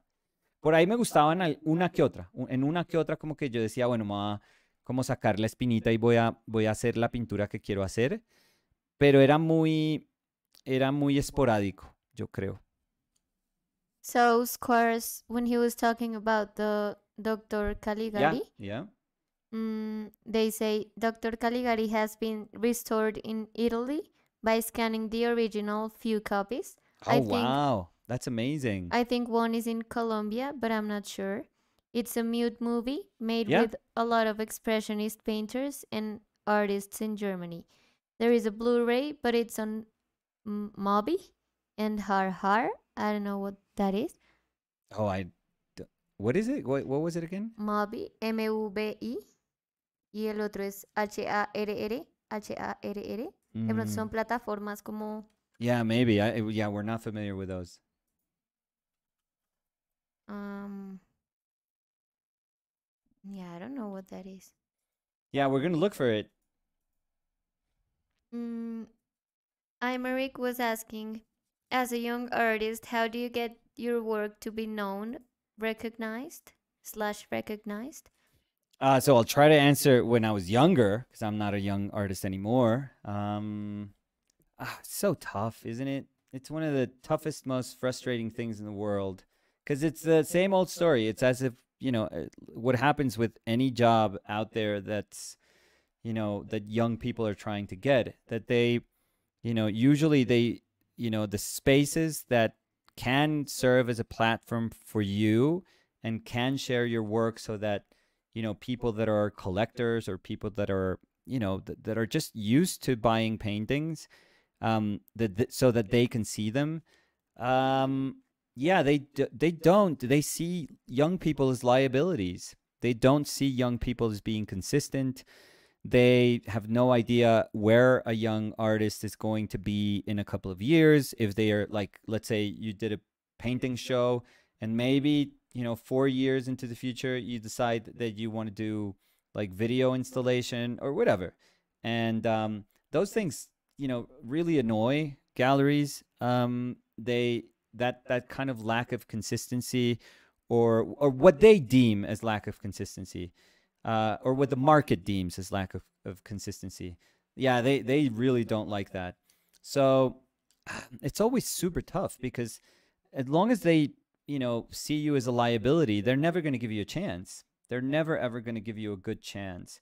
So you're always kind of um your your last you know shot is to always go to like smaller galleries or like smaller group shows and then maybe show one or two paintings. But, you know, I, I always kind of, you know, I'm always pissed off at that because they feel like usually the market and, and bigger galleries feel that that's how you should start. You know, you have to earn it and you have to, you know, go through the motions of this, you know, big machinery that is the uh, art market and the art world. And, the, you know, that sounds all good and fine, but like let's say if you're doing a, a group show, if you're doing a couple of group shows a year, which is, you know, which is I guess would be what people expect you to do. Um, if you go if if you want to be part of um of like a gallery circuit, a traditional gallery circuit, if if you feel that you're, you know, that that's what you want from your your painting and your work. But if you take part of these shows, like, you know, if you sell a couple of paintings in one of the group shows, maybe in the other one you didn't, like, you know, galleries are going to take half of that money. And, you know, how are you making a living? How are you making a living by selling a couple of paintings a year? And and if you're not able to live from what you're doing, how do they expect that you, you know, that you treat it as something that you know it's like oh you're a mature painter now or you're a mature artist now or you know you're a young artist that has to be incredibly committed so that we can see that with your work um, how do you do that if you can't even make you know rent? How do you do that if if it doesn't help you just cover like the most basic kind of necessities of your life? So that's I've always found that absurdly unfair, absurdly unfair, you know, in the art world. And and usually that's where young people tend to be like, "You know what? I'm going to do it with, you know, by myself or with a couple of friends and we're just going to you know, rent a space and and we're just going to do it in these smaller venues in this tattoo shop or in this skater shop or in this co- uh, in this coffee place. I'm just going to use these these smaller spaces to show my work. But then you realize that yeah, maybe some people are interested, but it's not as if those are like, you know, um, uh, launching pads for getting into bigger galleries. Maybe maybe you'll hear a story, you know, the the off chance that somebody was having coffee and they saw somebody's work and it's like, hey, I, you know, I, I actually work at a gallery. You should go there. You should show your work there. And you, you end up going there and they, they tell you you're amazing. And, you know, you finally sign with that gallery. Yeah, but that doesn't happen that much. I mean, if it happens, it's, it's extraordinary. Um, what usually happens is that you have to work with your, you know, you have to scratch your way to you know to the uh, not let's not call it top because I don't think galleries anymore have to be we we shouldn't consider you, you know big small whatever uh, size galleries. We don't have to consider them as the uh, the only shot that we have. Um, I think that you know sadly we have to just really really be super super scrappy and just fight our way so that they you know we can get their attention.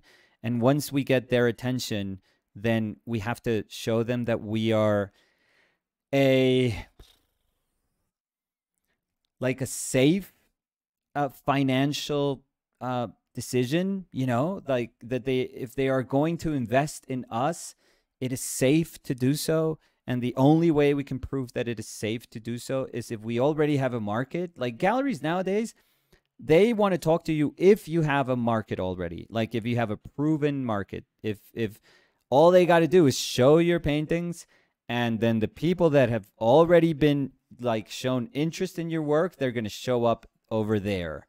So they don't have they, they don't do much of an effort really. And i'm sorry if i'm being like super critical but but uh, i and i've been incredibly close to a bunch of of gallery owners directors curators in the past, and they're amazing people. But I also I also have to speak as an artist and as a painter.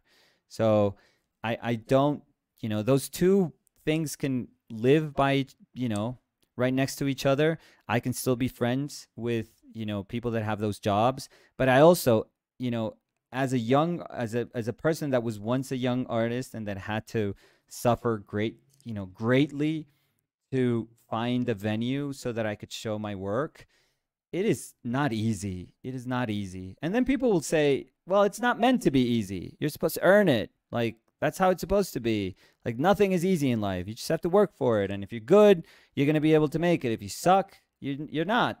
You know, it's easy as that. Well, it's not as easy as that because the art world is super unfair, also. Like, the art market is incredibly unfair. So, you're you're many times going to see people that don't deserve to be there, you know, showing and exhibiting, and it's just that they, you know, they found some way to get in. You know, they found they just, you know, they were just incredibly insistent and they found a way in. But that doesn't make them good. You know, that doesn't make them great artists. So, yeah, it's a tough one. Now, having said that, having said all the the tough reality part of of how the art world you know behaves. Um nowadays there's so much you know there's so many other chances to show your work um that you don't really need anyone. You really don't. And and this is not i'm not trying to sound dismissive but but um but there's nothing wrong in saying i don't really need other people. You know i i can try and do this by myself.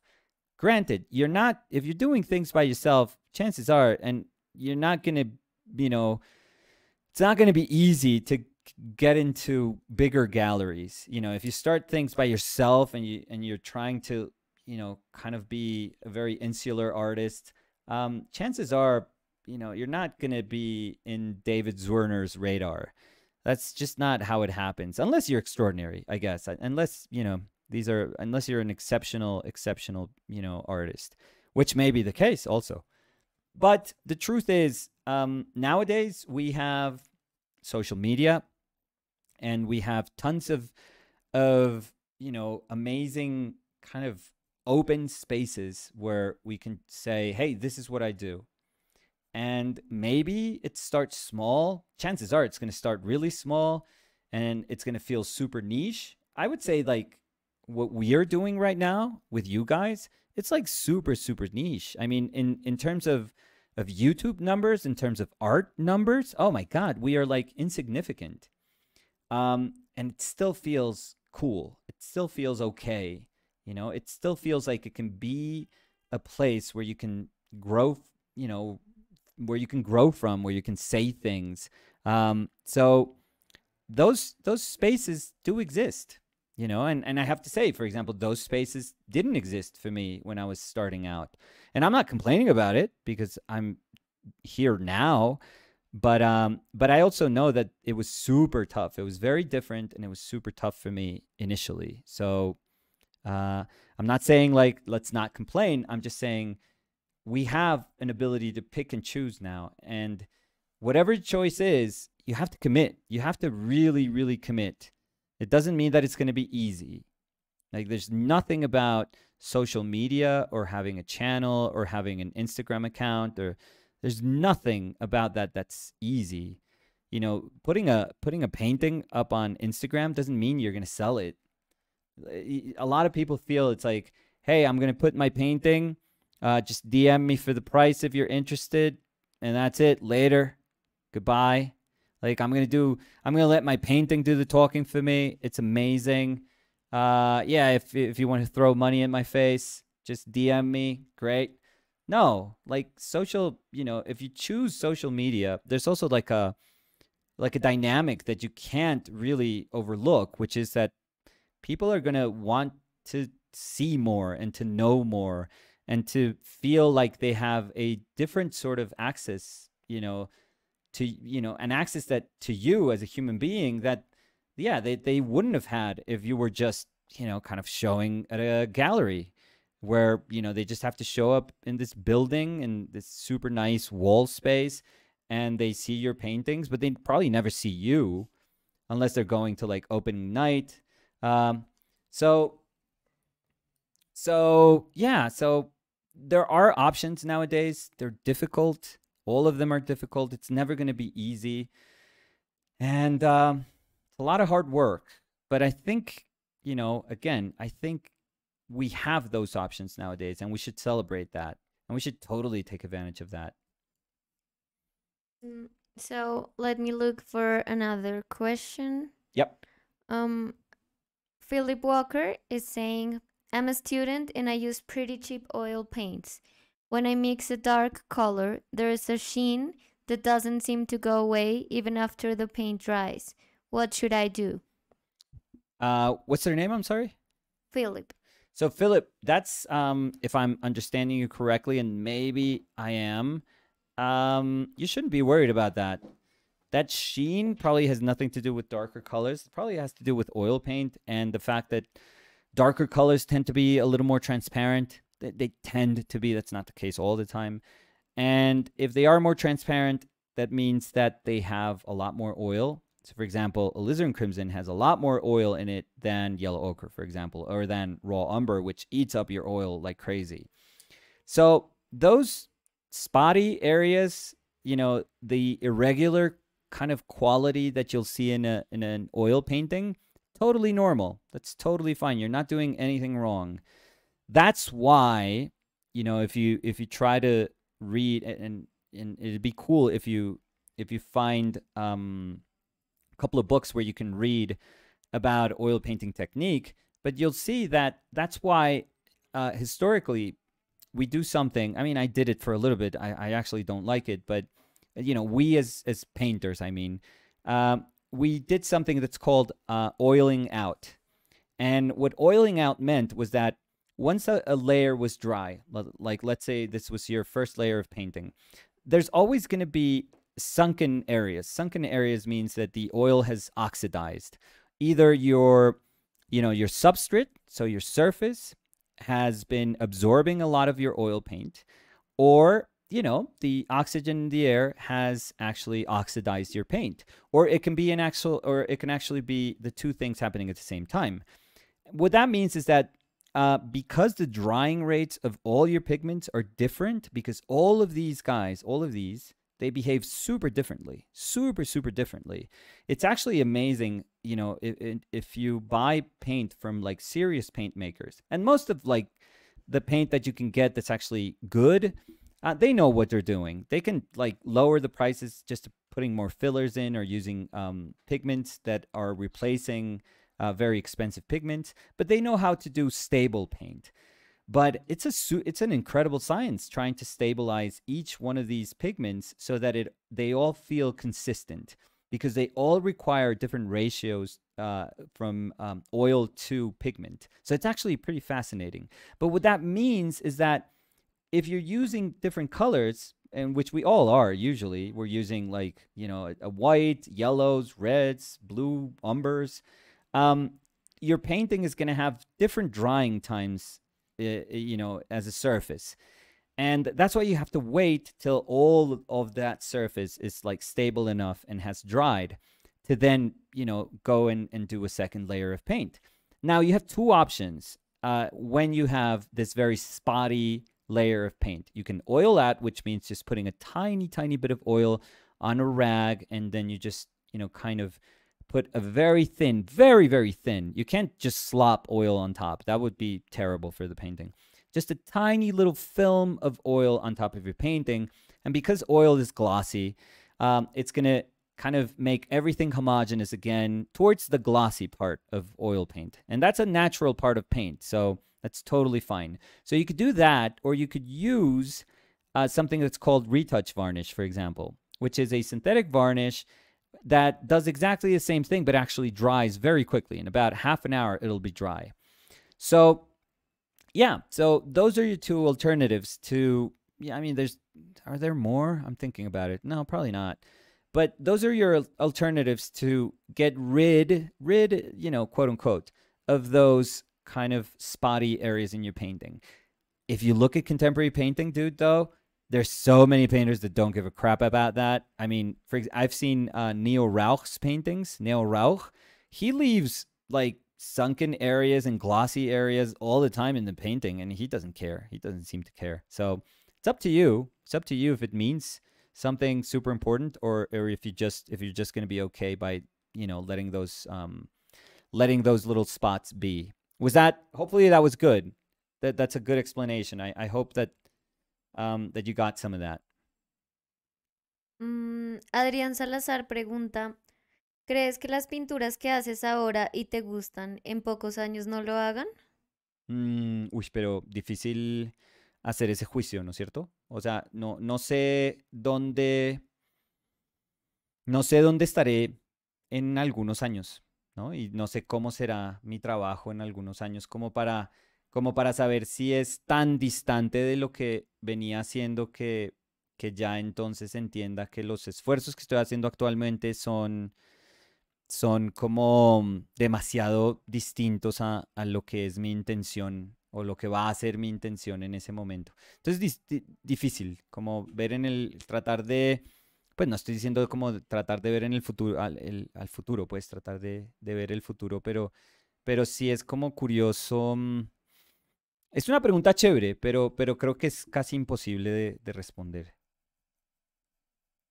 Gabriel Pozo is asking, What do you think about the Dark Souls games? I remember you talking about it a while yeah. ago. Yeah, I'm, I love them. I absolutely love them. Love them. I haven't finished all of them, if I have to be super honest. I finished. No, I didn't finish Demon Souls. Like I, I the first one that I played was Demon Souls for the PS3. Um, and then I finished Dark Souls 1, Dark Souls 2. Dark Souls 3, I was at the end, honestly. And so I, am going to call that finished. Uh, Bloodborne, I finished. Um, what am I missing? Uh, Sekiro, I couldn't finish. you know what? You know why? Because I'm kind of scrubbish, and I actually I'm not good. I'm not that good. I mean, I know that if I say that I'm, I finished, you know, uh, Bloodborne, I finished Bloodborne, and I finished um, uh, Dark Souls one and two, then I should be, you know, I I shouldn't suck. And Danny and I both finished Cuphead, so Yeah. you know that's like um, we, you know, we can wear that with pride. But um but i'm not that good. I'm just like I, I i just i'm committed with stuff that i like. And um but i love um co-op in those uh, souls games. I absolutely love it so when i'm stuck with a boss or something i'll just like you know i'll just call somebody and and and let them help me out. And what i usually do is that i um i'll just you know I, I, have you seen those like soul level one um um those people that do the whole game at soul level one or something like like crazy i don't do that i i literally i'm over leveled like everywhere i go and i'll just you know i'll just uh repeat the same um I'll just grind and repeat the same little area for like 20 times just so I can level up and be over leveled s- just so that it can be a little bit easier for me. So, yeah, but I adore the design, the feel of the game is just incredible. And I've been even watching some of the um some of the uh Elden Ring cuz I know there was a network test and people have people a ton of people played the um the network test, so I'm super psyched about that. I I already pre-ordered it. But those games I have to be careful with because I don't want to start playing them and then, you know, the moment that I have with Danny um, is the one that's getting sacrificed because I'm just playing. And Danny's like super cool. yeah. Yeah, no, you're super cool, but you're also super cool because because I'm a little more mindful about not, you know, being an idiot about playing when we're, you know, together. I much yeah, rather that's like why I, I tell us you play together. you can play and I can play my SpongeBob game the game in the phone while you play. I mean, yeah. Uh, you know what I've been playing, which is super cool for the past couple of days. I was gonna Ins- say what, and I know. Inscryption, Inscryption, so good. It's so good, and I don't. I'm not good at it, but I'm. I today I made the. uh I I'm at the last boss, and he killed me, but it's so amazing. and I love visually. I loved it. It was incredible. So, So, Lich, team. Eh, hola Lich. Um, he was saying, ha ha ha, what happened? Did the old man beat you in the game? I Oh, guess, in Inscryption? Yeah. yeah. No, no, no. I don't know if in, if inscryption when you were talking about Dark Souls Mm, maybe or maybe- because he asked the time. ago. Yeah. Did he ask it before I said inscryption? Oh, oh, there was an old king. I, I remember in one of them. Uh, or or which one in Sekiro? Maybe Sekiro. Maybe, but Leech is like really good at video games. So yeah. So what he- he's good at when he's good at stuff, I'm I'm not as good as him. So yeah, I just get I'm not that good. I've never been super good. I'm I've been able to finish games, and I'm super proud when I finish games. But I like adventure games like Spider-Man game, like a Miles uh, Miles uh, Morales game, or I actually did finish uh, Cyberpunk. I but I played it on my PC, and I thought it was okay. I thought it was fun. You know? Dice Sekiro. No sé cómo se Yeah, pronuncia. Sekiro. Yeah, that's a tough game. Lich, es difícil. No me jodas, es difícil. And Squares says there's people that do the touchless runs in Dark Souls. Yeah, that's insane. Runs without take a hit. Yeah, those, those are that's crazy people. Those people are nuts. But I'm going to flex a little bit because Oh. remember that I did something like that in Yeah, Cuphead. yeah, yeah. Yeah. Yeah, Danny got a, an achievement that's like uh, you don't get you don't get uh, touched uh, in in a level, which is totally insane for me. Like No, maybe people are gonna be like, oh yeah. no, no, you're really That- good. No, no, no. like I've played enough video games throughout my life to know that you're like super good at, at um at platformers. the thing is that I don't know how to you're like super the- twitchy and you you have like really great memory and you're very patient to like learn patterns which none of those things i'm i'm none of those things i suck at all of those things which are pretty much essential for a ton of video games So Yeah, but I need to get be- better with the camera thing. oh yeah, yeah. Danny with camera. But the thing is Oh that I had a su- super big mm, void. Yeah. Yeah. because I played um DS. No, ¿cómo se dice? yeah, or like no, SNES. sorry, Yep. not DS. And uh, PlayStation One, and after that, I started playing with you. Oh, and I, and I had a Game Boy Advance, but that was all. And after that, I jumped into Yeah, PlayStation PS4. 4. Yeah. yeah. So yeah, that and was like a PS5. Yeah. huge change. Yeah, so for me. Danny, you should. It's it's amazing. I mean, it's funny until you have to play with her. but I, but I know Danny, but I know how to times- understand my time my like camera manage. oh, now now you're better. But the first times you were playing with the uh, control, like Yeah. that you were you had to deal with camera. Oh my god, I've never felt like I have to puke in a game. Yeah, but the thing is that you assumed that I would know how to control the camera Well, because you've been playing with the camera. I don't know, like maybe eight years. no, well, more, but Yeah. And that was my first time because I mean, when I was playing in the Game Boy Advance, there was no camera. no, no, Play no. this one? is- Of course not. I mean, no, no, no, no. It was uh, PS3 actually. Well, I don't know. No, PS2 play- actually has no, because PS2 had the dual also. but PS I didn't had a PS2. Yeah, yeah, yeah. Yeah. So yeah. No, I hear you. I hear you. but you you've gotten a, a lot better. Yeah. No, I think that if I get the time, I could play with you sometimes. See, but the bad thing is with um with the Souls games, Oh, it's, it's, not co-op like Okay. couch co-op. You Yeah. have to be like somewhere else. Yeah. And I can't. Well, But I, but usually you in the play it Souls in the games, you can you play with strangers. No, no, no, none Only- of those Souls oh, games. okay. No, yeah. mm, Lich dice so Danny lives in 2D. Yeah, yeah. No, No, but but I'm learning. I'm yeah, learning no, because no, the games finished that we've, for example, um, Sackboy. we finished Sackboy Yeah. and we finished a SpongeBob game. The oh, uh, we had the platinum. Bikini Bottom. That was, Yeah, yeah. That's my first platinum ever, and I did it with uh, Danny playing a, the SpongeBob game. mm, what else we played that had the? um, uh, it takes camera. two. It takes. oh two. yeah, it takes two. No. that was fun. Oh yeah, it had camera. Yeah, yeah, yeah. I mean, Yeah. it wasn't super important. The camera work in there wasn't super super important, but it had camera. But in Sackboy, in the runs that you had to make, remember that? Um, yeah, Yeah. that game. The the tougher parts of that game are Yeah. super tough. I liked a lot that game. Yeah, yeah, yeah. We were, but we were good. We got. I mean, we finished it and we got almost everything. So Yeah. So Thomas Golunski is hey, saying Tommy. is saying Ape Escape on PS1 had 3D camera movement. Yeah, but I think that I just played when the PS was just released. So I didn't get to play that game.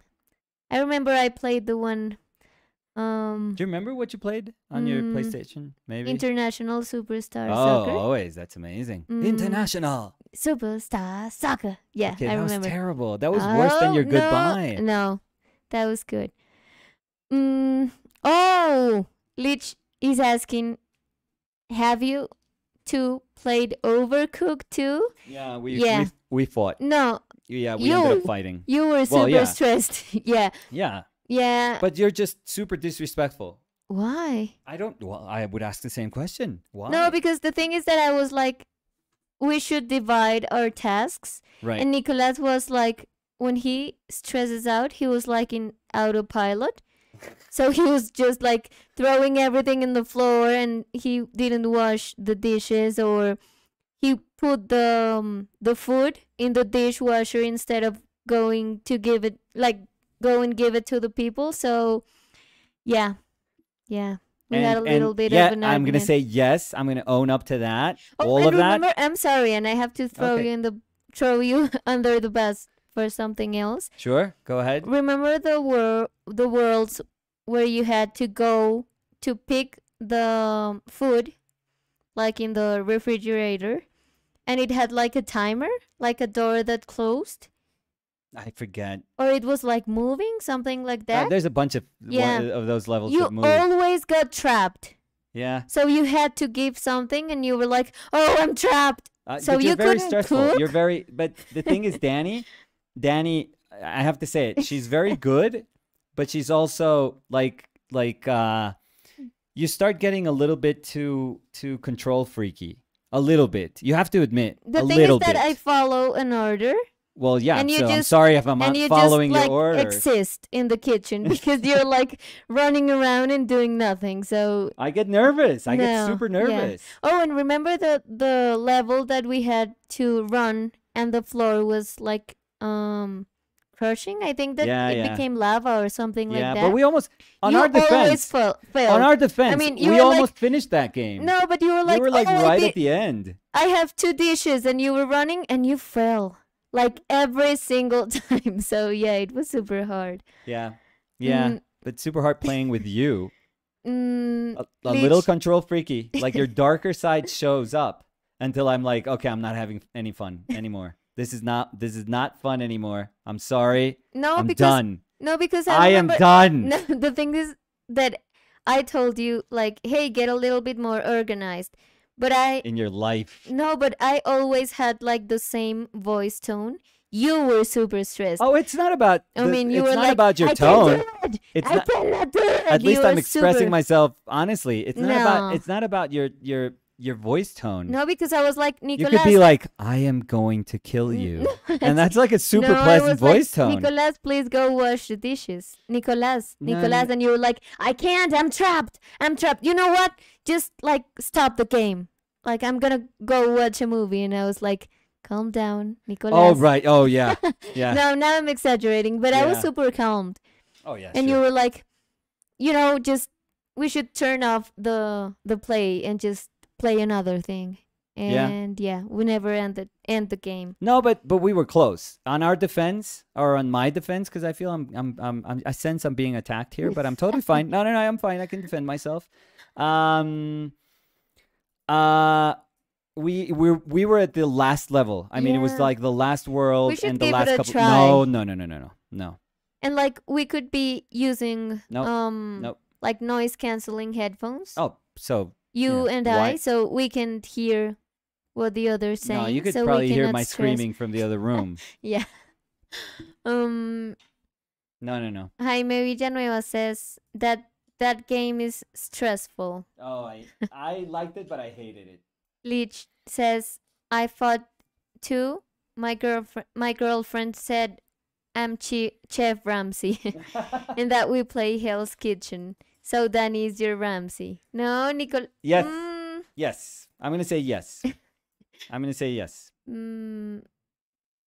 Squares says when I tried to play with my girlfriend at Little Big Planet, we almost broke broke up. um, no, we we actually did super well. Yeah. On uh, on Sackboy. on Sackboy. We were a super good team. we were we were actually a super good team, The and the only reason we were a good team is because I was competent at it. In the games that I'm dumb at, that I'm not good at, yeah, she's ha- she has a problem. Yeah, the thing is that I think we we are like a super good team for co-op games, just not the cooking games. Not not the tough ones. Yeah. um Gabriel Pozo is saying things are heating up over games, guys. Game over. And no, and we're playing now. Um, Little Nightmares Little too. Nightmares 2, which But is really cool. But we take turns. beginning. Yeah, we Yeah. and we take turns. Yeah, yeah, yeah. So Mm, I have to draw. I have to draw. I give up. Like honestly, I give up. So I'm I'm gonna um I'm gonna try to draw it out just to see if I can help myself a little bit. Mm, so I'm trying to look for more questions. Mm, I know video game talk can be divisive. I know there's a lot of people that uh, are not into it, but I I love it. It's been part of my life. You know, it's the same as comic books or you know toys, statues, um, illustration. It's just always been part of my life. So Oh, and sorry, we also um completed the Super Mario, remember? oh yeah yeah yeah. But that that's classic. Yeah, but we did it all. I yeah mean, yeah yeah. We're pretty good at it. yeah. Well, again, you are very good at platformers. I I, I have to give you that. Mm. So, and I, uh, for example, I suck at. Um, there were moments. There was a well, one moment in um, in uh, It Takes Two that it's like a DDR game, like Dance Dance Revolution. Oh yeah. But Oh I'm good at that. Yeah, you're, you're you very I don't know at what's that. wrong with you with that. I, I that is beyond anything that my body will ever know how to do. But not your body because we didn't it's my bo- play. It doesn't matter. My body would Did be you the same ever thing. play the um, the PS1 Do you Dance remember Dance when we were playing Guitar Hero? Yeah. You- my body doesn't know Yeah. how. I can't follow orders. I just can't follow orders. Yeah. I really can't. But did you ever play I that? collapse. No, I never played that. No, I No? never played that. I was super good. Yeah, I, ne- I never played that. The thing is that I'm good with um all the games like piano tiles, remember? Yeah. And you you it's just, just that your brain is like, I mean, there's a difference between our age, but I've never been good at it. So you could say it's like I'm getting older. Yeah, I know, I know, but you know, uh, I'm getting older and I just don't have reflexes, and yours are like super, super sharp. But the truth is, I ju- I've just never, ever been good at that, ever. Mm, so Tia is asking, I think you two are young. The games I was playing are um how do I say ¿Cómo se dice fatal? Far, fatal? Fatal, yeah. Fatal Frame and Silent Hill. That's not. That's. I think that's kind of my age. You know, I think we're contemporary. By the way, Mm, Squares is asking, what's your favorite comic? My favorite comic. Yep. Oof. You know that people in in the UK they usually ask they usually um they usually have like a favorite comic, which is very it's very peculiar. I feel. Um, let me think. Let me think. Let me think. Maybe the one that you bought? Um, Comic? No, no, no. But comic means eh, como comediante. comic. Are you? ah, Yeah, what are you talking about? Ah. Yo pensé que era. No, No, no, no. I thought like it was a comic, comic like like a comedian.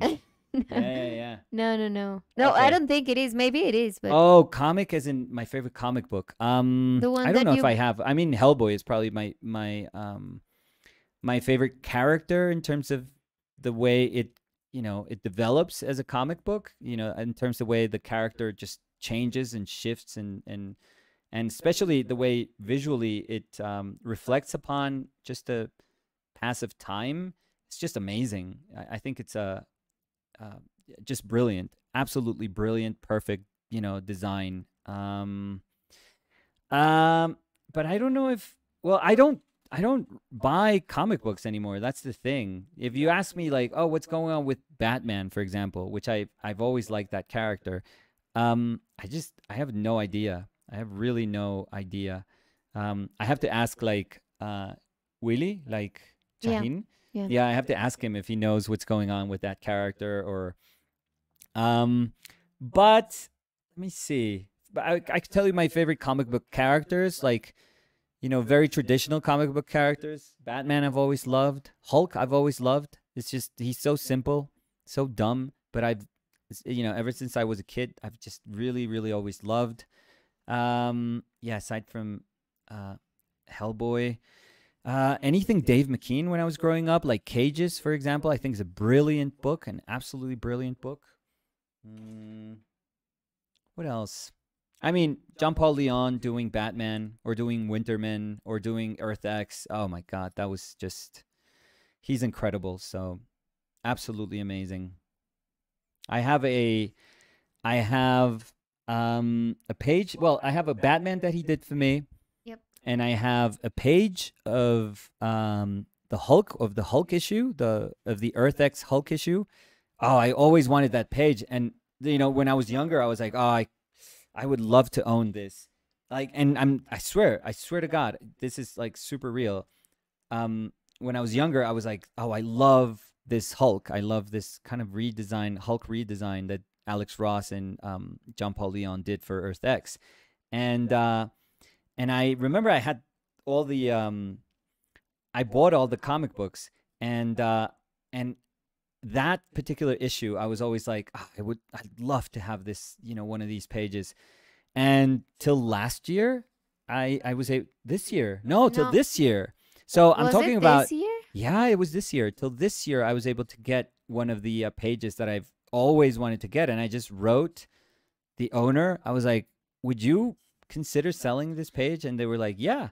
And I think they charged me like 500 bucks maybe for that page. Um, and I bought it immediately. I was like, it, "It's so awesome! It's so important for me to." to be able to do those things nowadays. I know that it seems like they're just things, but for me it's almost like things that I've always all my life I've always kind of dreamt of of of you know being in the company of those things to me is super super important.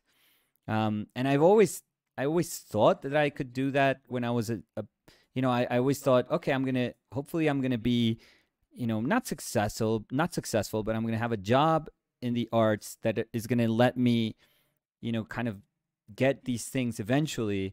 And I never did. I never did. Like I was you know those things always felt kind of like beyond my reach. And um and it was it was it's amazing. I I think I'm like it's one of those things that nobody else has to be proud of me cuz you know it, it I guess it doesn't matter to anyone else. It doesn't have to matter to anyone else. But it matters to me in the sense that I I feel like this is who I am and I'm kind of working for the person that I am. So it's uh it's amazing. It's amazing not to feel kind of like that these things are so beyond your reach or so or or you're just like or convincing yourself that you're old so you have to be boring and it's like no you have to be serious now and you know it's kind of stupid to buy like a statue like i got a statue yesterday Yeah, a super cool a one. dark side statue from sideshow Yeah, it's so and good. it's so fucking cool Yeah. like i can't like it's just fucking cool i can't express it any other way but it's just again it, it took me a long time to to be able to say wow these are the things that i that i think are super super cool. And a lot of people i'm sure are going to say oh come on dude they're things and you're supposed to be ta- detached. And and it's like yeah but they're also things done by amazing artists. Like if if we buy paintings which we do um you know why can't we buy like a sculpture that's super cool also. And why why would it feel differently or why would it just mean something different? Like it's the same thing. So i'm just super happy. I'm just super super happy that life has given me the chance to just pursue those things that escaped me for a very very long time. And things that i don't know i think even before danny i was just convincing myself that i don't know that my life had to be kind of responsible and sort of boring. And the truth is like i take care of my kids like my kids lack nothing. I think that you know they're wonderful human beings i feel. I feel you know doing a good job with them. And um and i'm still able to do and and you know kind of have the company of the things that i've always wanted to have and things that i love and respect. Because these things to me are like they're honestly they're just art they're just literally like literally art like super super cool art done by incredible people.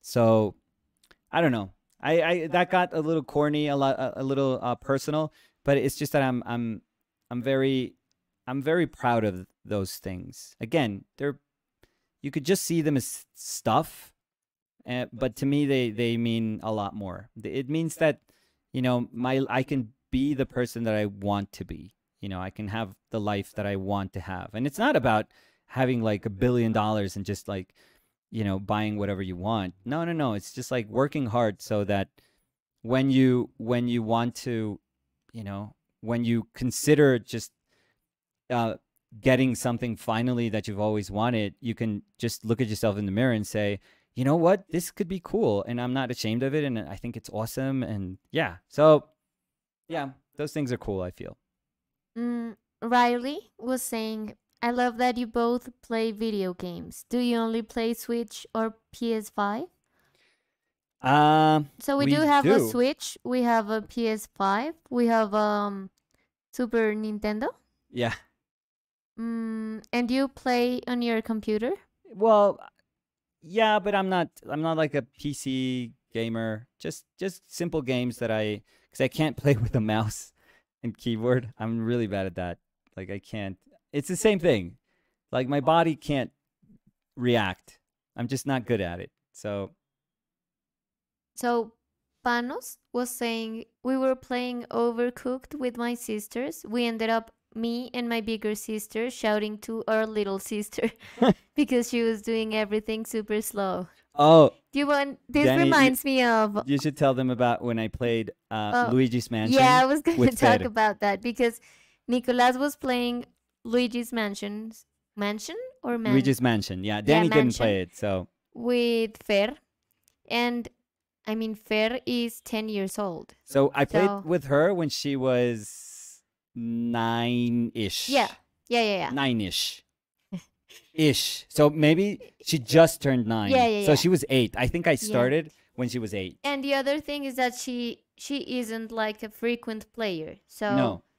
so she's not that good with the controller. She could barely get her hands on the controller. Yeah, yeah, yeah. And But let's start from the from the from the uh from the ending. We finished. Fer and I. yeah, that, that's we what I was gonna say because you played all the game. Yeah. We And you were, like, Luigi's Mansion. And we stressed. almost like 100%ed it. Yeah, and you were like stressed but controlled. But I remember that I went out a day to visit my family, and I wait when I came back. Came back, I was like, "Hey, Fer, did you end the game with your father?"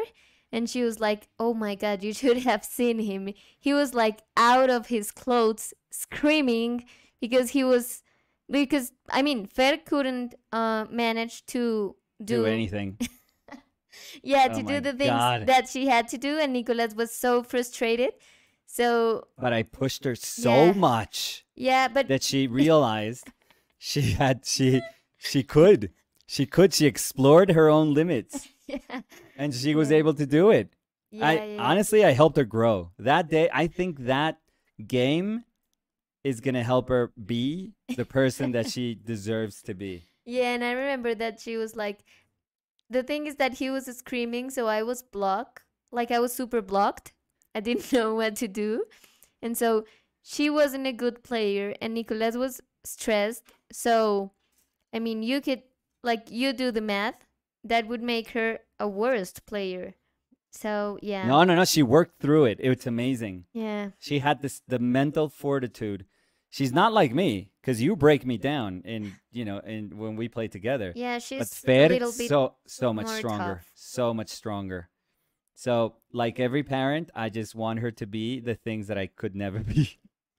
But you can describe a little bit how, like, what was that experience? No, the thing How is, it's a it? it's a tough game. It- you know, for I mean, it's a tough game for uh for an eight year old, um, for sure. I think Samu maybe would have done a little bit better when he was eight because he he started playing when he was younger.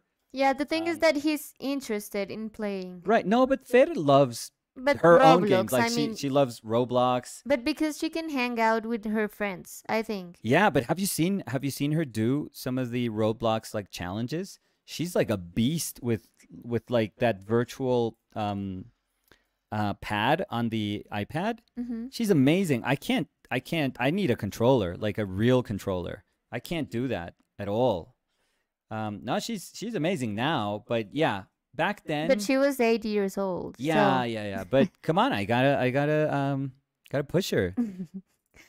mm, Uh, we're kidding by the way. Yeah. Mm. She no, in the end, she was like the proudest person that we. Oh we yeah, were and I remember that she game. was telling me that she was laughing because you were so stressed, and you were like, "Don't laugh, just concentrate," and let that make her laugh a lot more. So yeah, I would love to have been able to see you at that moment. Oh, you probably would so have given me one of those. Calm down, calm- and that would have made it even worse. Yeah. Nicolas, calm down. yeah. Mm, so, uh, Thomas Golunski is saying, "Did you ever play Metal Gear?" Nicolas. I played uh four, started playing five, and I started with four, uh, Tommy, and which is a the most fucking like arcane game that I've ever ever been through.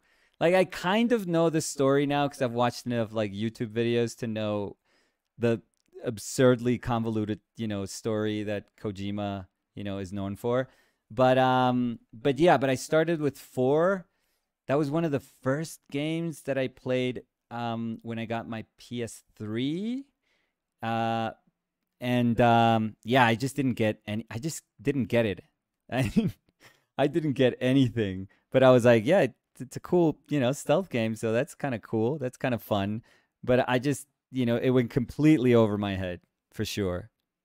Mm, so, oh, so Sandy under the sea is saying, my friend makes the clothes for the sideshow figures. She is amazing and No so way. talented. Oh, dude, that's Yeah. incredible. I love I love it.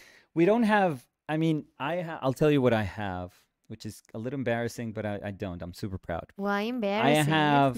I have a bunch of Martin Canale, who is um he's a sculptor from Argentina that I think he's and I think he's amazing. And he does like super kind of old school sculptures because he used to work with Sideshow when they were modeling like modeling modeling, you know?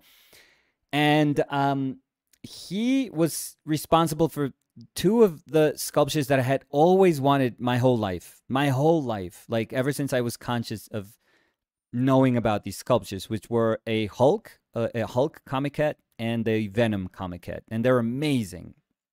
And again, only until last year, this was like years of wanting, you know, these sculptures.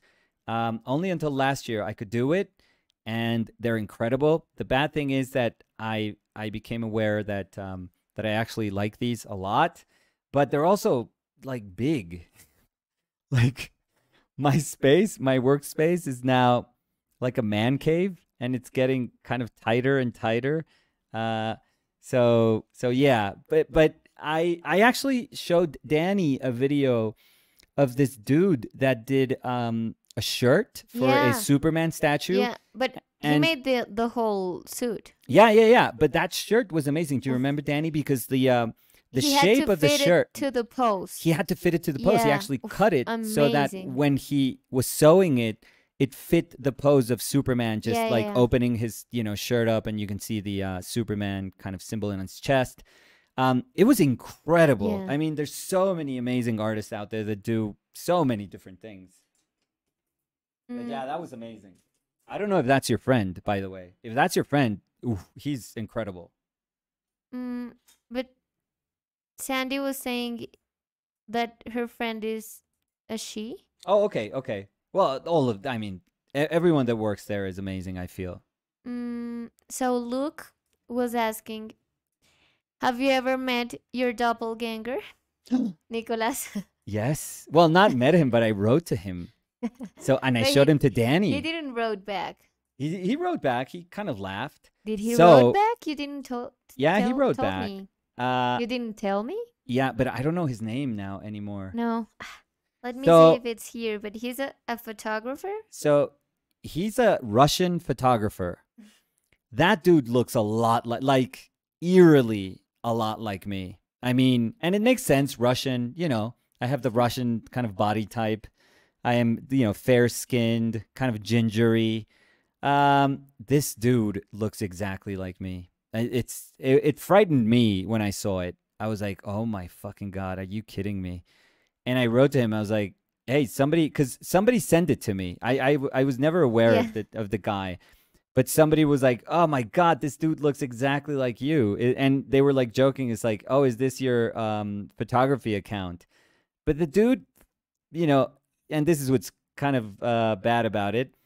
He photographs like you know, I don't know. No, I don't even know. I don't bad. even I know. mean, oh, it's terrible. Oh, Danny, it's terrible. Yeah, but Yeah, I know that you don't that. want to say anything, but it's like um, sensual photography, but not sensual. I mean, it's just you know he just wants to photograph naked women, um, and he just puts enough filters in there just to make it look artsy.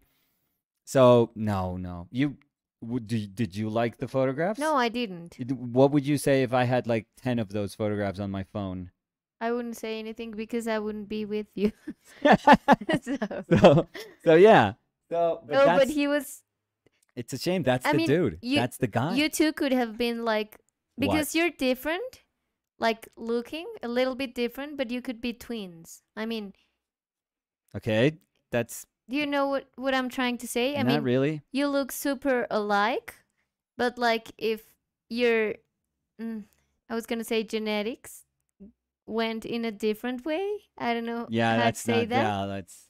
No, but you get it. Like, I mean, sometimes twins, you would say, like, oh, of course they're twins, but they have something like a little bit different.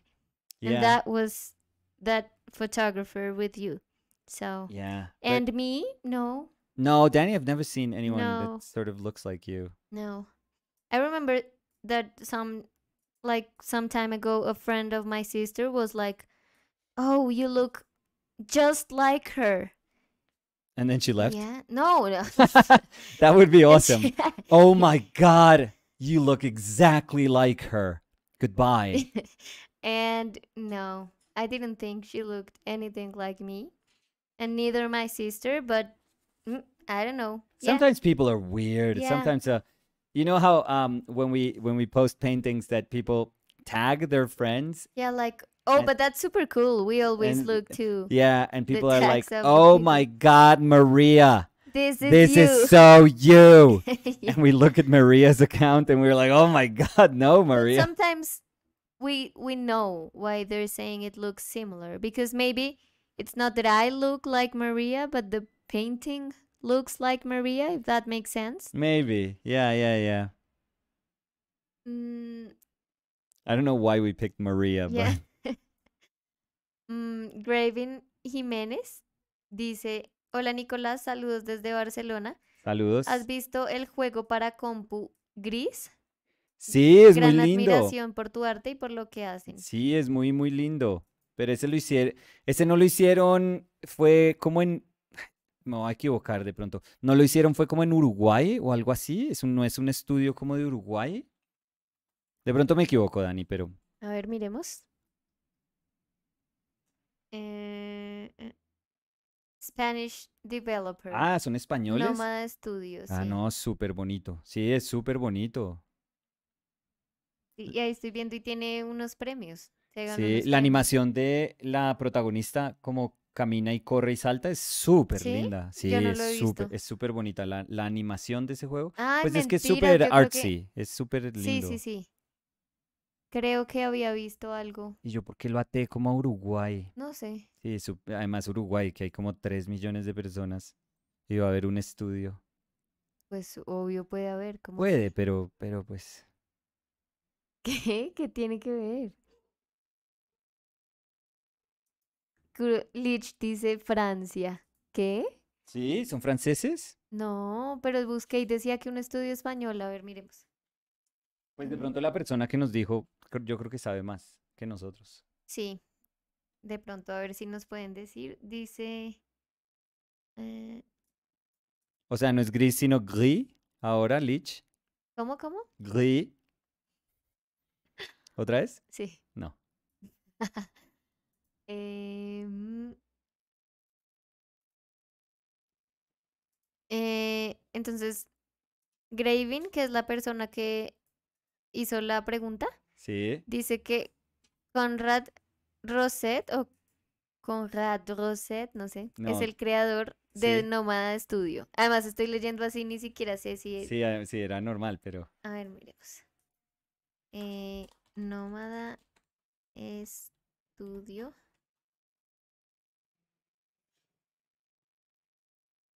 Mm, no, Oye. no sé dónde es. No sale dónde es. ¿Cómo se escribe?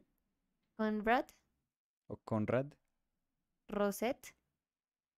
Mm, no, tampoco. Dice que tiene 37 años, pero no me dice de Mm, dónde es. gracias, súper entonces útil. sí. Gracias, Dani. Eh, terraza. A ver, es de terraza. Espérate porque ahora me estoy yendo. Terraza es una ciudad en España. Ah, entonces era Conrad Roset. Es español. No, no sé Lich porque dijo francés. Lich, Sí, Lich, gracias, Lich. Gracias por nada, Lich. sí. Sí. Ahora dice España, ¿no? Pues sí. Pero ya había dicho México. Francia. Brasil. Parece Em, canción de Proyecto 1. So, está en la wiki. Sí, España, por eso. Por eso, Lich, pero ¿y, y Francia qué pasó? Eh, so Luke says, I found my doppelganger, but I fear he's no longer with us. Oh. He was dressed as a chicken in a photo from the 1920s. What? Looks exactly the same as me. Oh, oh, that's super like Lost, Yeah. remember? Or Dark. Dark. Yeah. No, and Lost too. Lost? Yeah, rem- nobody- uh, Yeah, when they were in the island at the end, like Yeah. at the end of the series. series. Series, I'm sorry. I'm sorry. yeah, but um remember that there was like a picture of the people that were working there? no, I don't. Yeah. don't remember. Am I lost? Oh, Lost. oh my god. No, god. but but I think it is. I mean, let me see. Um so in the season finale maybe? no, because they just. Oh well, we're spoiling Lost for everyone. yeah, so- sorry. But that's why I'm trying to be super vague. Yeah, right. Well, Lost was vague. So let me see. Um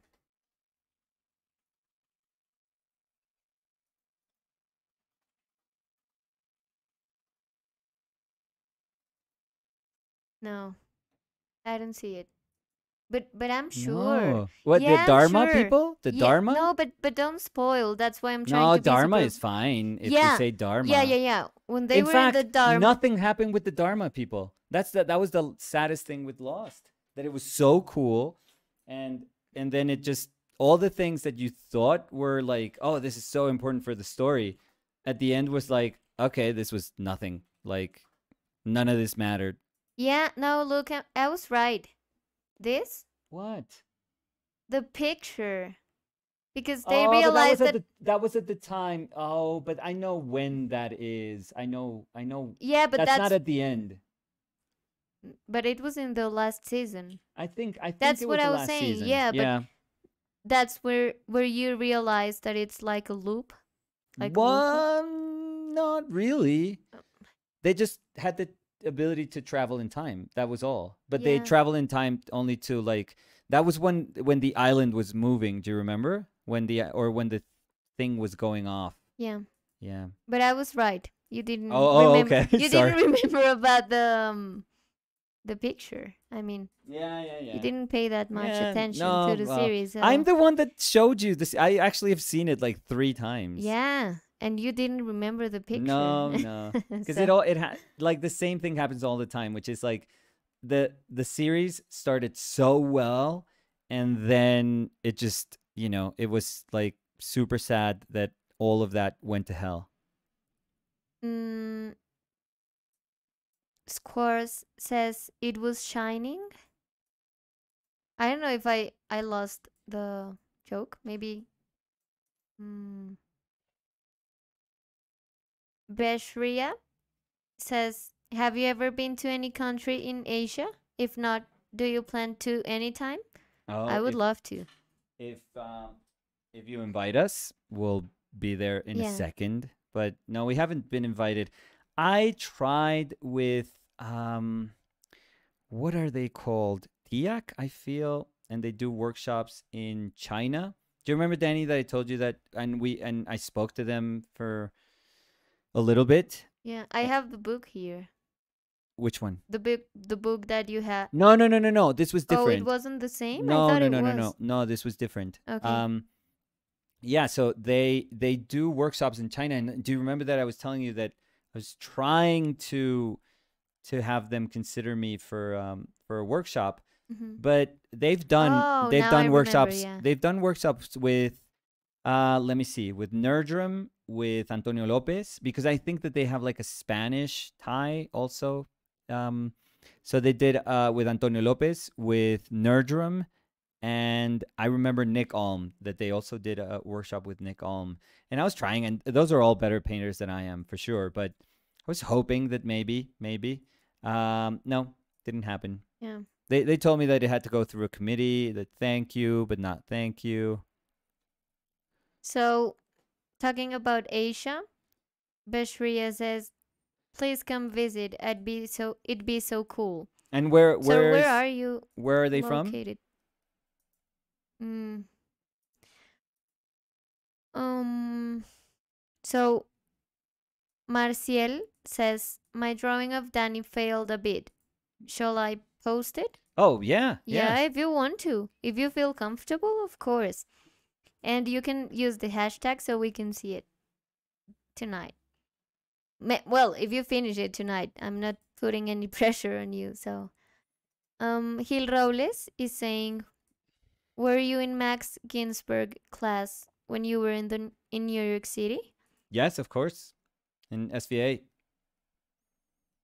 Yeah, I was I was with Max for three years.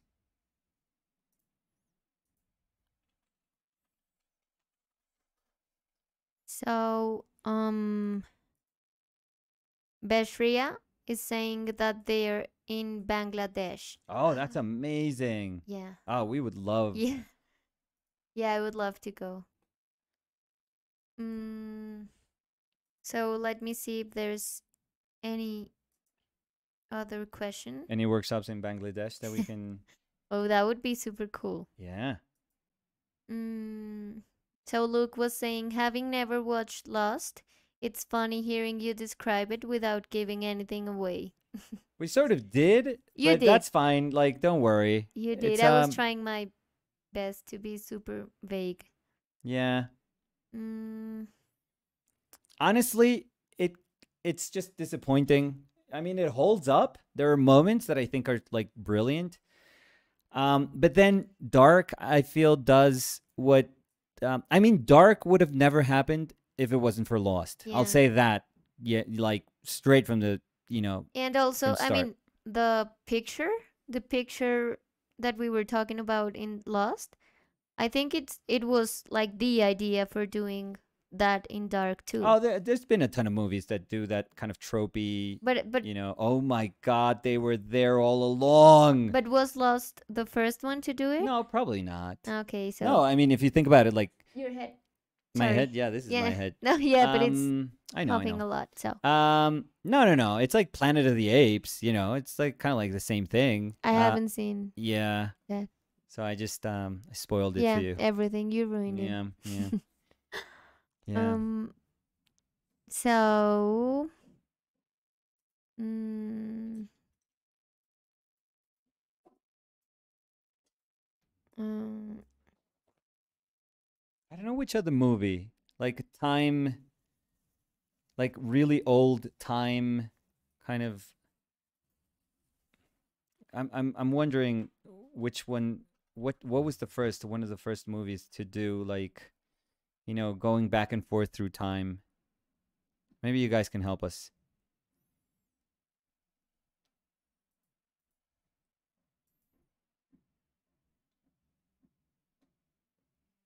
so.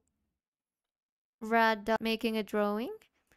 Yeah, well, at the beginning we had the image for a little period of time being super big on screen, so maybe Huge. Yeah, it was a huge Danny on screen. So maybe if you want to uh, screenshot it, Radog, you of course you could do it too.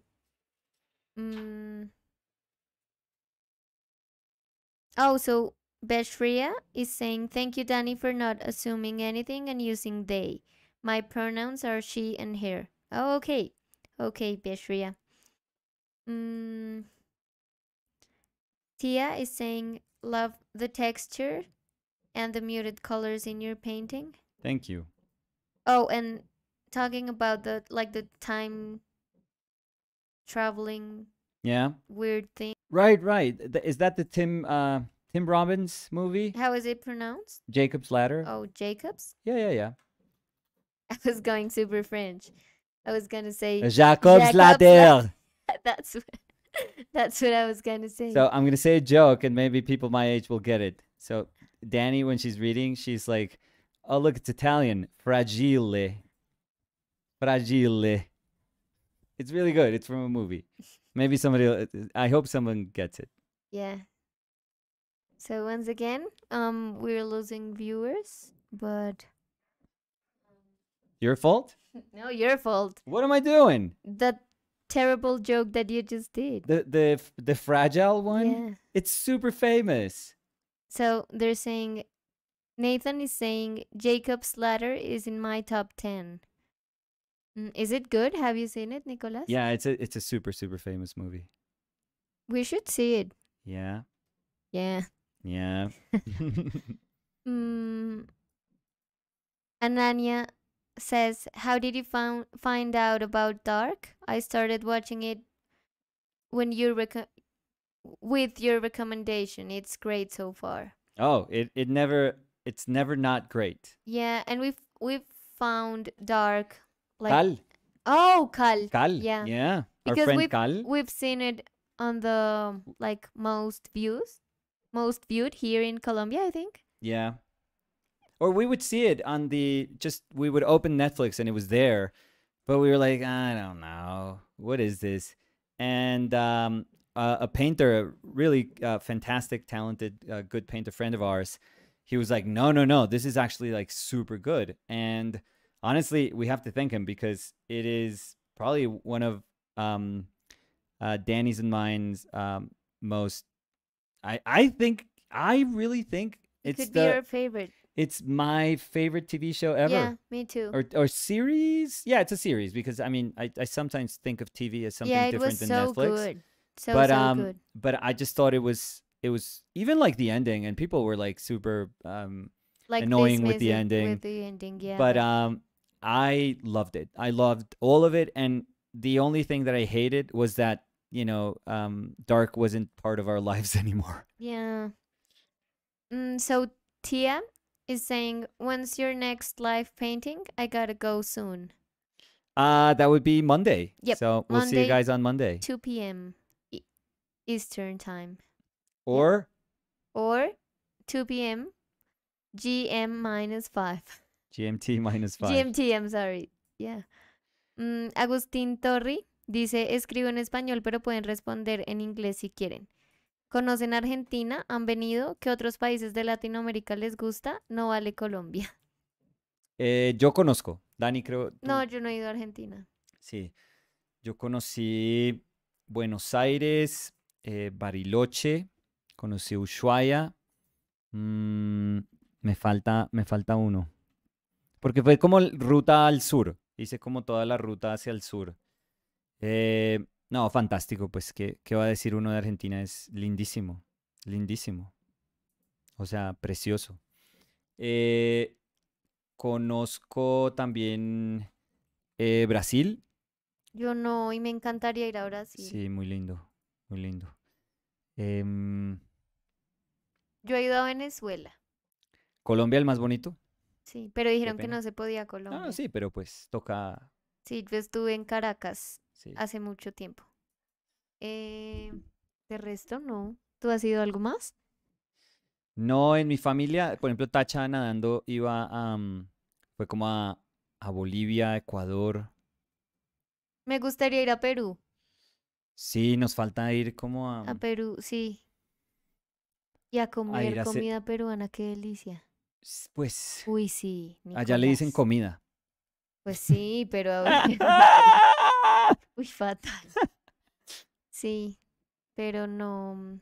No, de resto no he ido nada. Pues lo más cerquita, pero ya no hace parte de. De la pregunta sería Panamá. También he ido a Panamá, pero pues Panamá ya no es. No es Suramérica, era no es. Colombia, Sí, por eso dije ya no es. era Hace nuestra. muchísimo tiempo ya no es.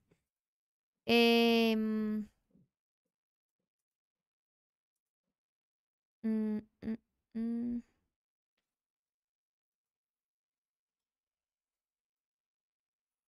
Oh, so Riley Yeah. was asking, Nicolas, is there still a Kenyo community chat on Telegram? Um, I think there is. Let me check. So I'll check this real time. Um, because I would think there is. I haven't been there in a while. Let me see. Start. What? So I'm out of. I'm out of Telegram. What happened? Let me see. 57. I'm checking. I'm checking. Code? Oh, come on. What is this? Oh, I don't know. What is going on? Yeah, this is great um, live streaming. Yeah. Now I'm supposed to get like um like a message to get into Telegram because I, I I guess I haven't been in there for a long time. Is it not up? Maybe maybe uh Thomas knows. Well, Thomas for sure probably knows. But um yeah. Cuz I don't know, I, I was um logged out and I'm trying to log in and it's not letting me. So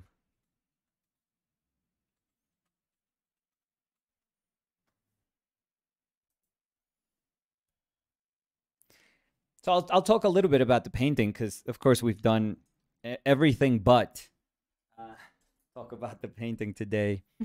but um, oof, tough one because I you know I I gave up on my um my hope to to only by you know using my background and cleaning my my um my contour up a little bit I was hoping that I can get uh, my notion of drawing from that.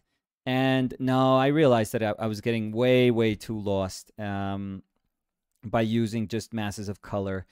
And it could be for many reasons. I mean, it could be because I, I don't give myself enough distance from, you know, me and the painting, or it could just be easily um, expressed by saying, I'm just not that good. I just I just think it's um it's very difficult to um to figure that out uh, because drawing is difficult. So so yeah, so I had to like draw and scrape and draw and scrape. Like I said, I'm a super scrappy painter. I think that I trust myself in the sense that I feel that I eventually get to where I want to go, but it'll just take me a while to get there. The the I'll say that the good thing about uh, the fact that it takes me a while to get there is that the accumulation of all the decisions that I take um, gives the painting like a beautiful sense of history and um, and texture.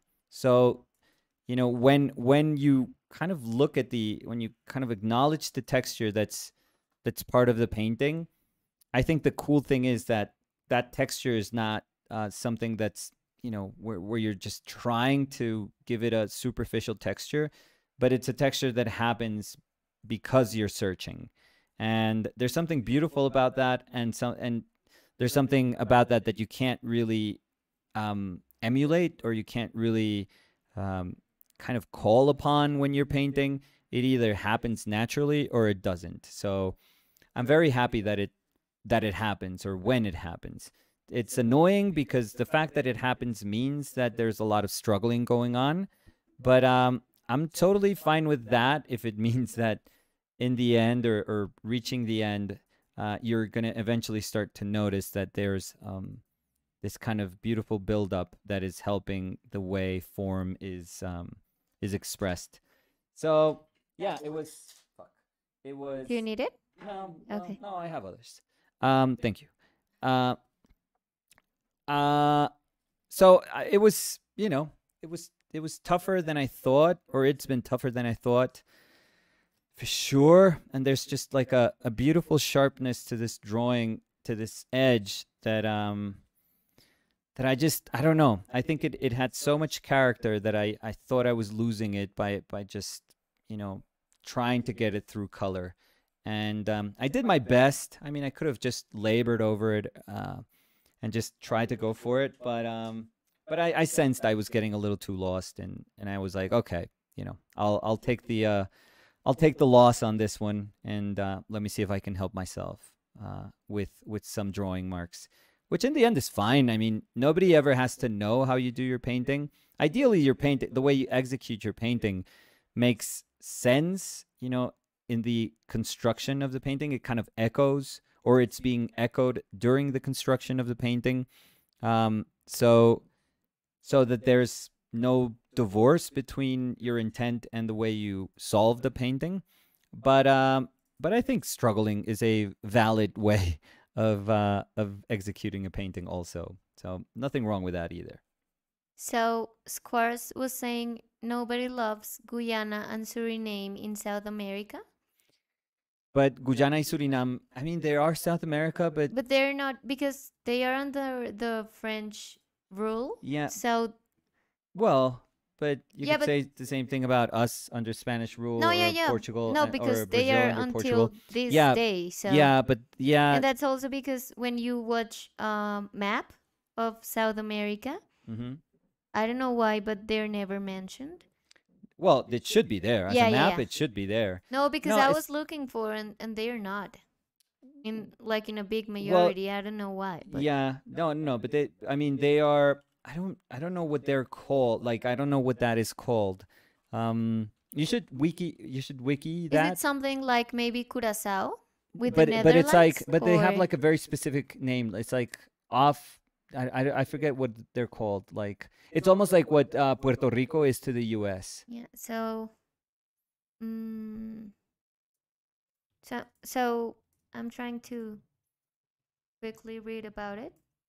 But it should be like in the first paragraph. Like Mm, Guyana is a No. territory, like an off. No, because it What's it says called? Guyana and Suriname, along with French Guiana and Trinidad and Tobago, share many geologic, cultural. So No, that's like yeah, no, that's not. that's not what we're looking at. Mm.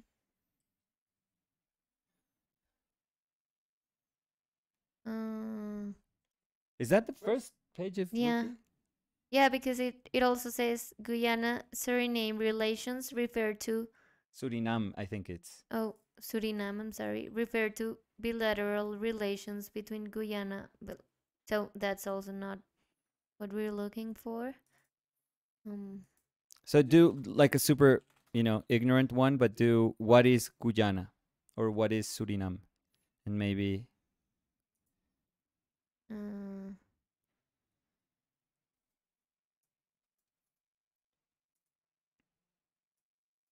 No, it says Suriname is part of a territory in northeastern South America known as the Guianas.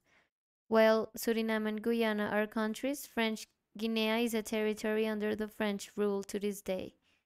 So, so they are separate countries. They're considered separate countries. yeah. Well, that's what I get from what I just read. So, mm, Yeah, but I've never been. no, me neither. Mm.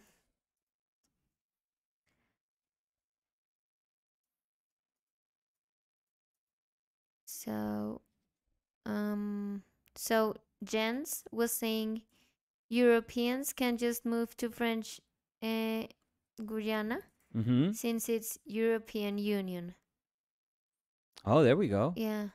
That's why I was saying the like the French rule. It was not like oh we were we were like Hispanic rules. Yeah, but if they're saying territory, if because I think that that's that was the word I, I was I think it's a French territory. no, but they were That's saying, but you read that it wasn't a French territory. That's a country.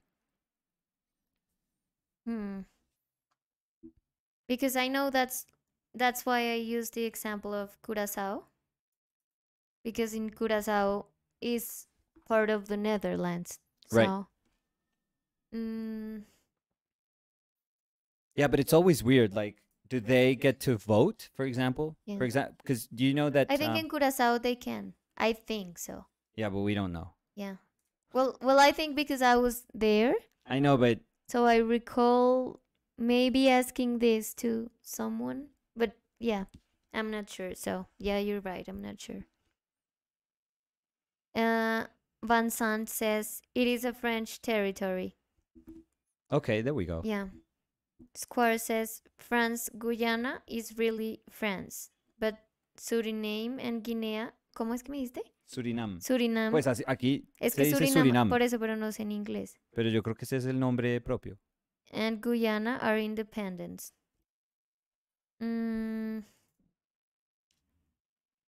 So, uh, Thomas Golunski is asking, "Are you streaming with your Sony?" Yeah, Yes. yeah. How is it looking? Um, Tommy, how, how's it? You know, I'm well. Part of it would be the camera. Our lights are not great.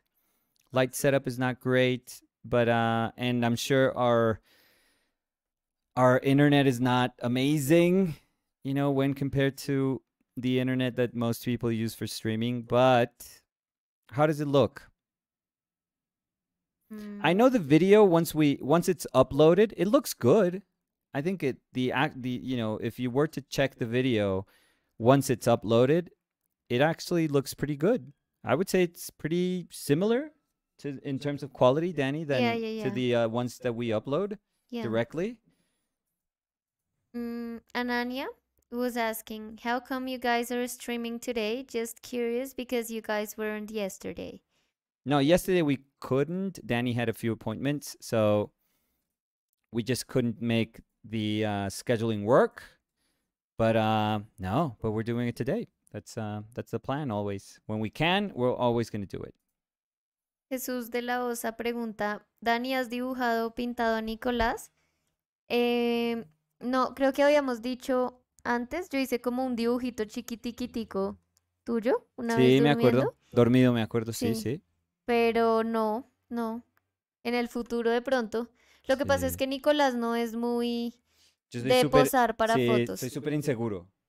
Como que no. Que, que además es súper injusto porque pues, No, pues pero. pido el favor, o sea, no exijo nunca, pero pues pido el favor que la gente me pose. Pero yo para posar soy terrible. Como que soy muy inseguro, creo. Pero en el futuro. Seguro en el futuro lo dibujaré o pintaré. Eh, so Rosalind says, Una escultura tuya, tuya me encantaría, mía. Se mira pero lindo. Un coquito. un coquito. Pero mm, ¿Qué? se me dificulta más. Es que yo igual siento que yo no. No, es que no, no quiero que se parezca. O no, sea, no, no, no. Pero es que lo que pasa es que siento que todavía tengo que como hacer muchas más esculturas para sentirme como mm, de pronto un poco más segura con la escultura. Pero Mm. algún día lo intentaré. De pronto hago Mm. una escultura tuya. ¿Qué fue el? Pues que, que uno nunca se siente seguro, yo sé, sí, pero O sea, si, si uno espera para comenzar, si uno espera eso para comenzar, pues uno nunca comienza. O sea, uno nunca va a Sí. estar. No, yo- pero pues digo, es por lo menos como volver a hacer, o sea, volver a tallar o volver a, mm, a hacer esculturas, sea en arcilla o en lo que sea, como para volver a tener el feel de eso. ¿Sí me entiendes? Sí. Sí. Entonces el próximo año seguro. Confirmado. No, pues, Va a ser la primera escultura en el eh, no porque entonces no, stream de Año Nuevo que estamos invitando a todos. no, a ver, el de 60 horas. No, 24. Empecemos con 24. So Rosalind says, I think you guys always look and sound good in these lives. Oh, Oh, so awesome. that's super cool, yeah. Mm. So Beshria is asking, do you think it's possible to build a career as an artist with little to no academic training? Um, for sure. I I mean, uh, Ben Bjorklund, he's self-taught. So that is the one thing that, if you need to know one thing about Ben, it's just that he's self-taught. He never went to art school. So, you know, enough said, I guess. Oh, and when you asked about the quality of the um, stream, Mm-hmm. Erika says it looks very clear. Good. Oh, okay, good, good. Mm, The only downside is that when uh, Samu and Fer get here from school, they know that they can't use the internet. Oh, and we have to disconnect also. yeah, we were like, you cannot use the internet. Yeah, but it's just for a little bit. Yeah, Mm, that's what we tell them. uh, so, Gil Robles was saying, I asked about Max because I remember you mentioning it another it in another video I watched some time ago. I thought about it as I looked at your palette. I just realized you don't have the white in the middle separating the warms and the cools like most of his students. I just thought it would be funny to mention. What? That's a new thing. I've never seen his palette with the white in the middle. I mean, at least not when I was studying for sure. The white was always to one side, I feel. Oye, ahorita es que no sé si Samu, Samu estaba gimiendo. Eso suena rarísimo, Nicolás. Bueno, estaba, creo que gritó, ayuda. creo que gritó papá. No, no creo porque él sabe que estamos transmitiendo. Espérate. Pero mira, mira a ver, es que creo que hizo como papá. ¿Era eso o una vaca por ahí sonando cerca?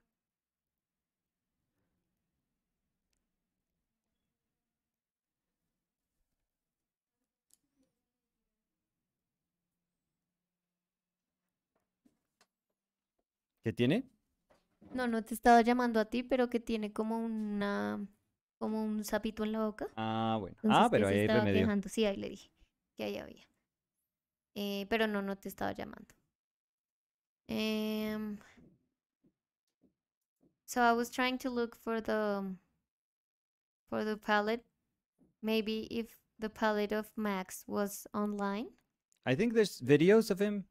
Hopefully not pizza or salad yeah. videos. No, I'm not gonna open a video again. No, just just turn the uh before before opening it turn the uh Oh, so Hill was saying I had Max in high school, so maybe that changed. okay.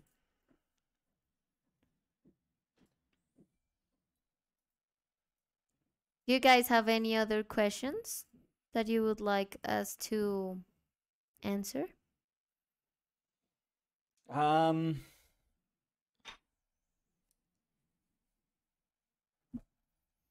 It's so weird. No, no, no. I'm just uh accommodating. Um it's so weird that I, I thought I was going to do a painting com- a completely different painting from the one that I ended up painting. I mean, it's not good or bad. It's just is. It's like that's just what happened, I guess. But uh yeah, but sometimes it's frustrating. Like it it bugs me when I think I'm to be able to do something and I just can't do it. I just can't pull it off. And I guess that's again, I guess that's fine. It's totally fine. But um it's annoying though. So, mm, Marciel says, Nicolas, what's your take on Russian paintings? There I'm I'm guessing you're talking about like um um itinerant painting, you know, Kramskoy, Shishkin, Repin. Um they're incredible. They're absolutely incredible.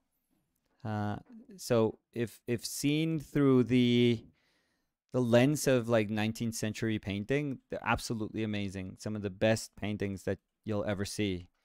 Um, I mean, Levitan and Shishkin are just absurdly, absurdly amazing um, landscape landscape painters. But um, what's weirdest, I guess, about uh, Russian painting is the fact that there are institutions that have sort of perpetuated that way of working. I mean, the Repin uh, Institute keeps it's still going, and it's, it's essentially teaching the same thing as 120, 130 years ago. So that is fascinating. I feel that is absolutely fascinating. Um, is it education that I think is you know should be done in you know 21st century. I don't know. I but i think it's it's amazing that there's still a space for that. I think it's um it's incredible that they've decided to just you know freeze time and and just keep um offering the same you know essentially what's the same philosophy that has that was uh present in you know in their institutions. Um a hundred years a hundred and twenty years ago. So that's that's pretty remarkable i feel. But um in terms of the historical con- historical context of you know again that sort of painting when seen you know um as a painting that was also quite different from from like Eurocentric painting that's quite dominant in in every conversation when you speak about um, 19th century painting because because of French Impressionism and Post Impressionism. Um, yeah, it's it's fascinating to find um, these examples of of just remarkable artists um, that you know when I studied, I only got to know of them because of Stephen Max, Steve Assael and Max Ginsburg, but this was not at all common knowledge, not at all. Um, nobody in in our painting history uh, courses taught taught or spoke about them. It was like 19th century was just um, dedicated to um, to a, again a very Eurocentric way of understanding painting.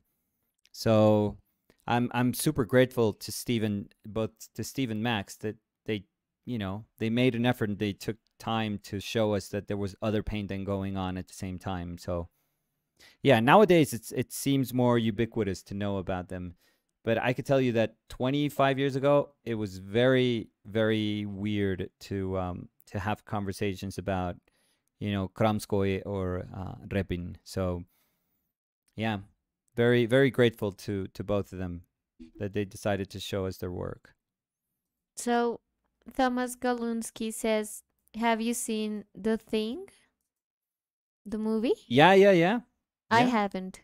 Well, I know what the movie is, Yeah. but I haven't seen it. And he also asks, how many paintings don't end up as you imagined? Oh my god. I think probably 99% of them. And I was talking the other day about this uh, Tommy, but it's uh that's probably why that um the um the Andre the Giant painting, you know, strangely became a painting that that was you know that I understood as different, not better or worse, but just different for the sole reason that that um that I felt that I ended up painting what I wanted to paint, like almost like exactly what I wanted to paint. And that felt incredibly foreign.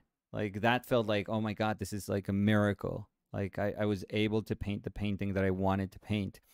And you would think that that's that that's what painting is supposed to feel like, right? But I don't know. It at least not for me. Not for me.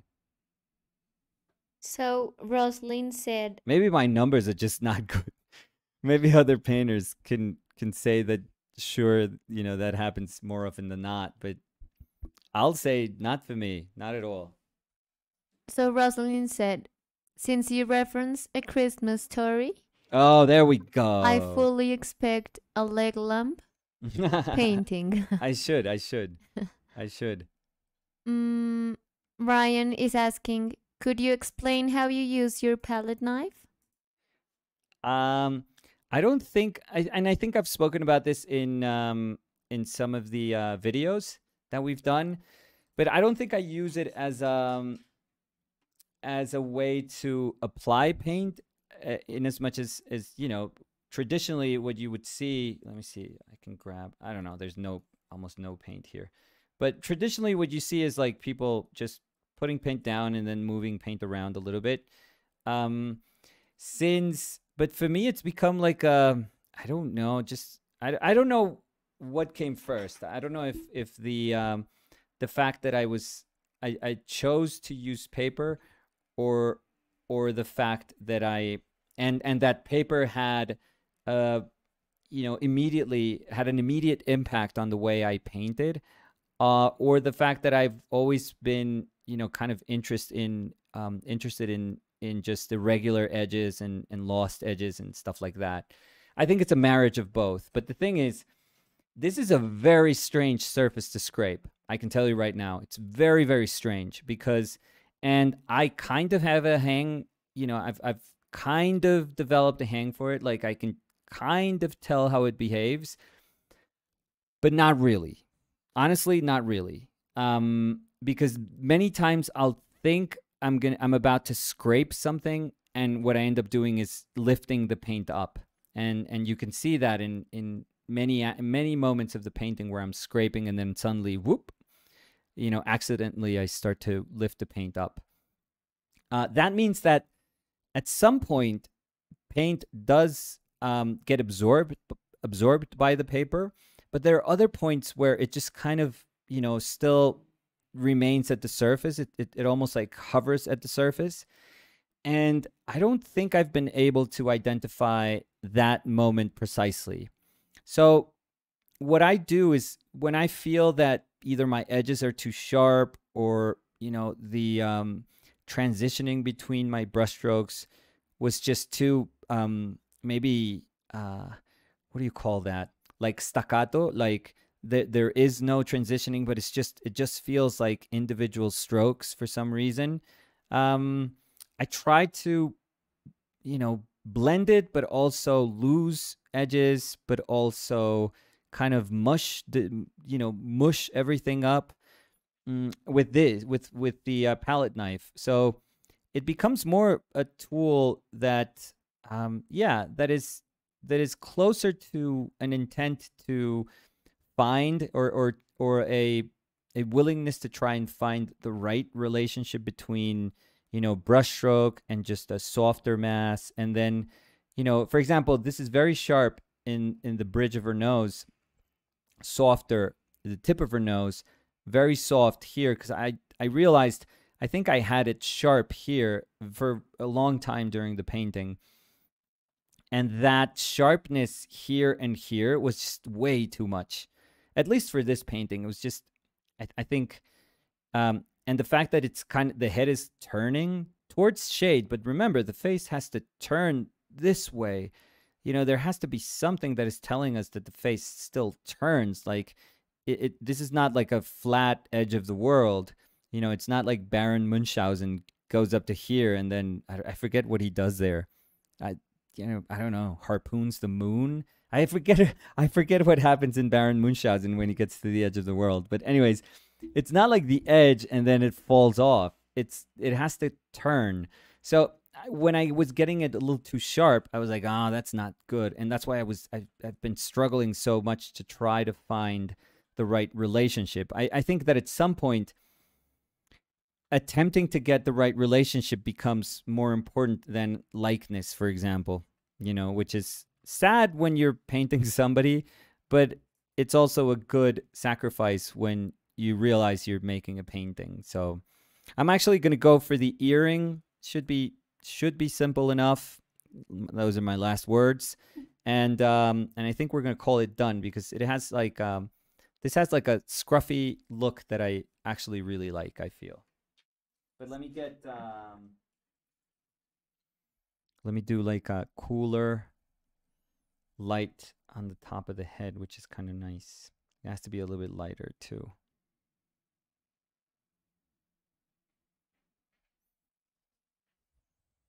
So can I ask some questions? Of course. Maybe. Okay. Of course, of course. So Rod Dog. No, I need silence. Yeah.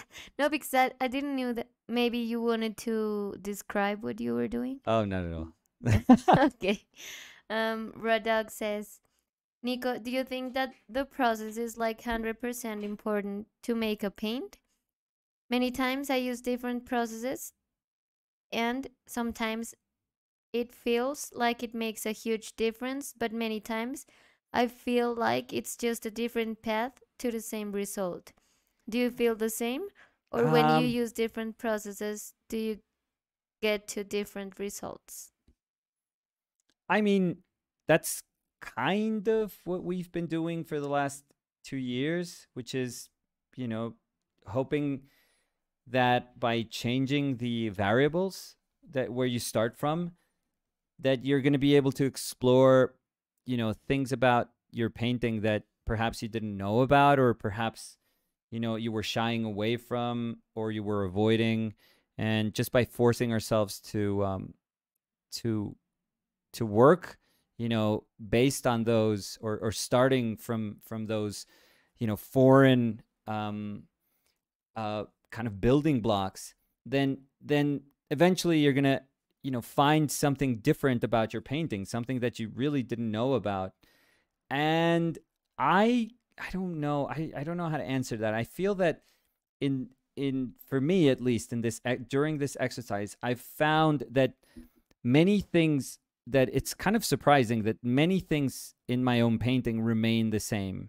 So it's actually super super interesting because there are things that I thought were going to be affected, but you know, a lot of things just kind of remained uh, exactly the same. You know, it didn't matter if I was changing my palette, it didn't matter if I was making a drawing at the beginning. It none of those things mattered. It it, it was I always went back to what I understood as as, you know, um, my way of understanding painting. For example, it has a lot to do with this, you know, kind of grayness, moody atmosphere. I think that part of my paintings showed up tons of you know in tons of ways and um, in many different you know instances of of our uh, project. And that became my constant. I'm i mean superficially there are going to be exercises that um, demand like very specific ways of solving something and maybe those feel a little bit different you know those paintings may feel a little bit different than than other paintings.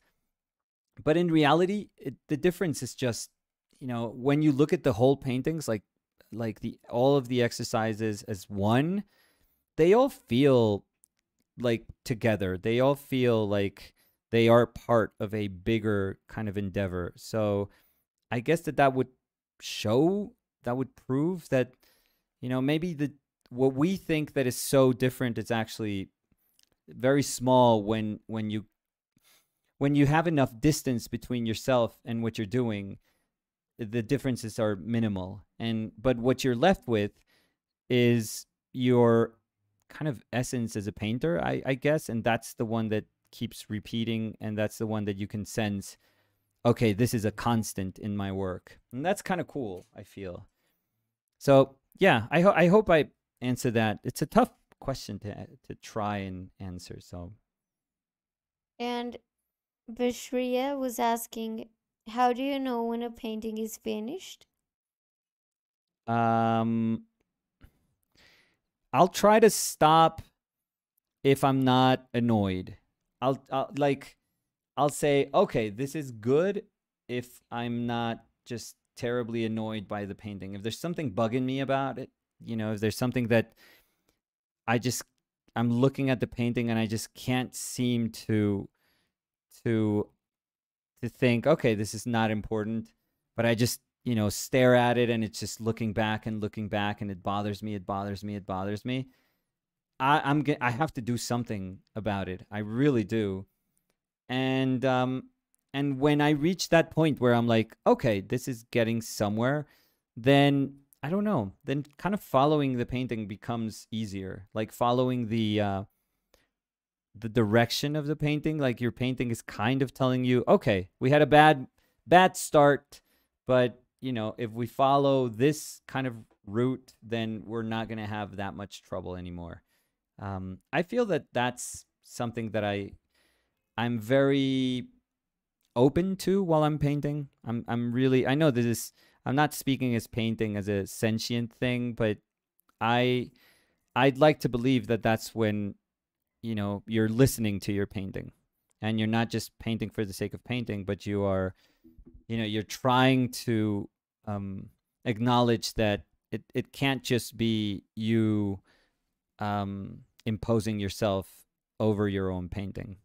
Uh, that would make a at least for me, that would make a very boring painting for a bo- for a very very boring painting. So Riley was saying, Nicolas, any future plans to show at Gallery Nucleus? I live in Portland. Oh no, we did have that show with uh, with Ben. That was super super cool. Um, the idea was to be able to show a bit of work uh, with Ben. That was always like a like a really a dream of mine. I, I respect them so so much. Um, but no, no plans. Um, they wrote to me. They wrote to me. Or they, well, they've written before, and I've just haven't really been. I don't know. I haven't really committed to anything. But um, in Sugarlift, they wrote to me from Sugarlift today. which is a nice gallery. It's a it's a nice space in New York. Um, that's where Zoe Frank just showed, and my friend um, Tim Wilson shows uh, there. Uh, it's really cool. Uh, I don't know what I want to do. Like, I- I'm gonna first try and figure out what my work is going is going to look like or feel like um, for the next year, and then I'll commit to something because I, I feel like if I commit to a show and I don't really know what I want to do, um, I'm gonna distort what I I'm gonna distort the things that I hoped that I learned from um, from this uh, process. I feel um, because I'm gonna rush into just having a show. But I'm gonna talk to them. It'd be nice to to have a show in New York. So I'm gonna I'm gonna see if I can talk to them and maybe maybe I can just tell them, okay, let's do 2023 and you know somewhere in 2023 and that can give me enough time to to just figure it out i guess. That's the honest answer. Em, estaba buscando preguntas de antes. Sí. Y Jesús de la Osa dice, ¿qué se te hace más difícil pintar? eh, que se me dificulta como edificios sí sí he hablado mucho de eso ¿Carros Como decías? ¿Los paisaje carros urbano también? sí paisaje urbano todo lo que tenga como una esencia de perspectiva así como súper mecánica sí sí pues es que ah, ustedes han visto cómo pinto yo una figura con hacer deshacer hacer deshacer eh, y ese proceso de hacer y deshacer pues en, en una cuando uno está tratando de resolver perspectiva pues tampoco es que sea muy como muy coherente, pues se puede, obviamente, pero, pero sí, no, creo que se me dificulta y no, no es, no es mi fortaleza, sí debo aceptarlo. Estoy tratando de buscar más preguntas que de pronto me las haya saltado, pero por ahora no veo. Bueno, no, perfecto. Sí. So I want to hint at at the um at the little earring. I don't want to just just draw. Well, I kind of I made it sharp, but because I I need that light to feel sharp, but I want to make it so sharp that it's just you know this earring that jumps out and and uh, and becomes something that's uh more important than what it should be. I feel so. Trying to reach like uh like a midpoint between it being painting it feeling like a like a bit of the painting but also uh feeling different and sharper than you know moments of the portrait so Eh, hace como, yo creo que dos horas. no, Hay una pregunta. pregunta de hace dos horas Pero es que hay momentos- negligencia No, es que hay momentos que se No. llena de preguntas y luego hay momentos donde no hay tantas. no pero linda Entonces, no esperemos podemos, así que no se puede así no se puede esperemos que William Felipe siga acá. no Eh, y él estaba diciendo, estoy tomando clases de pintura con Lu. Estamos Uy, viendo con monstruo. Luisita. sí monstruo Ah, estamos viendo la paleta de Zorn, pero me cuesta ver cambios de color, entre paréntesis, hue, en una misma área de luz o sombra. Mm, ¿Alguna recomendación? Mm. Espero que William Felipe siga No, acá. William ya se fue a dormir hace rato. Sí, no. Pero pues igual, Confírmenos, William, si está, si está por ahí. y si no nos respondes, Si no, no, no. no, mentira. Eh, no, pero es que sí está muy difícil, o sea, sin molestar. ahí está- está, mira, dice Uy, acá William, estoy, jaja, Aquí, no aquí, olviden". presente. Sí, Eh, primero, que chévere que esté tomando clases con Luisa. Luisa es una es una dura. artista impresionante, una pintora impresionante.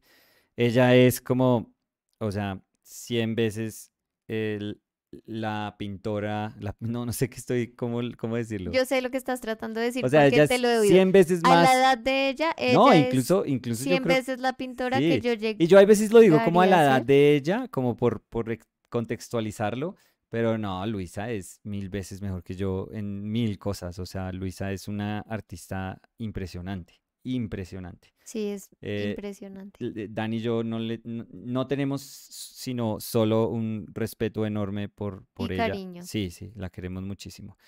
Em, entonces se me hace fantástico que esté con ella, aprendiendo con ella, porque seguro es una, una profesora también eh, increíble.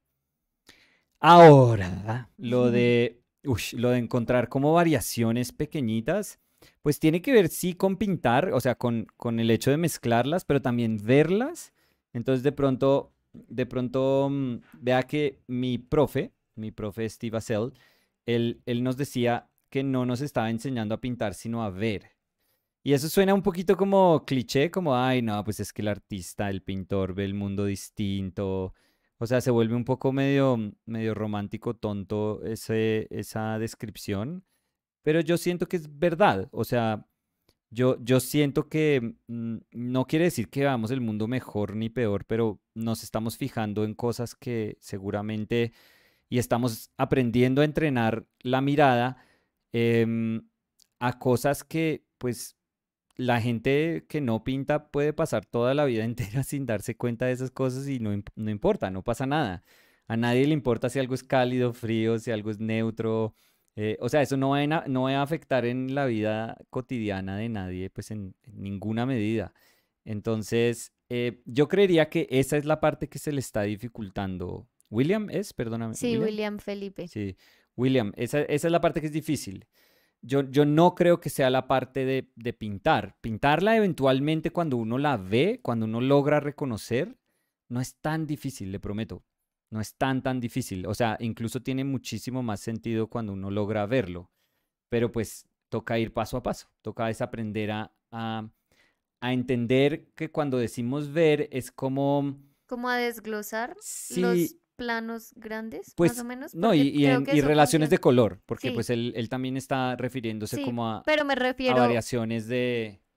del hue, sí, pero me refiero como que si uno ve, o sea, uno en un, en el día a día ve, no sé, o sea, si yo veo tu chaqueta, digo, tu chaqueta es gris, pero si la estoy viendo y la estoy como tratando de fraccionar, pues veo todos los cambios de temperatura por cómo le cae la luz, por la sombra, por todo. Sí, Como por eso decía, tratar como de desglosar lo que uno entiende como un color sólido. O sí, y, y- y, em, construyendo desde lo que dices, de pronto uno empieza a saber cómo la luz cae sobre los objetos y no los objetos. Ujú, Sí. O sea, no es tanto acerca de el objeto, sino, sino cómo la, o sea, cómo la luz está describiendo ese objeto. sí. Y- Em, eso termina siendo como mucho más importante que, que, que uno pensar en, lo, eh, por ejemplo, lo que tú estabas diciendo, en chaqueta. O sea, Sí, uno sí, no sí. piensa en chaqueta, sino en luz. Y lo mismo que creo que también ayuda un montón es como no pensar en el color que uno diría que, o sea, digamos, si yo digo tu chaqueta es gris, como no pensar en gris, porque entonces pues el primer impulso es hacer una pasada grandísima de gris Sí. y eso hace que después se dificulte más como ver todos los cambios chiquitos de temperatura en, en Em, el color, ¿no crees? Pues digo, o sea, estoy diciendo lo que a mí me funciona, no sé. Sí, no, no, no, no, tienes, tienes razón, como en el sentido de mm, no creer que uno sabe de qué color son las cosas.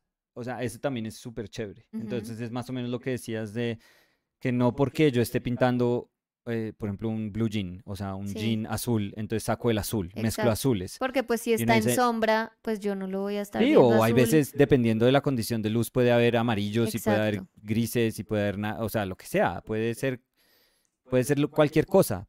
Entonces, como acostumbrarse a no, a desconfiar de lo que uno cree saber acerca de las cosas y empezar a observar, o sea, empezar a observar muchísimo, muchísimo.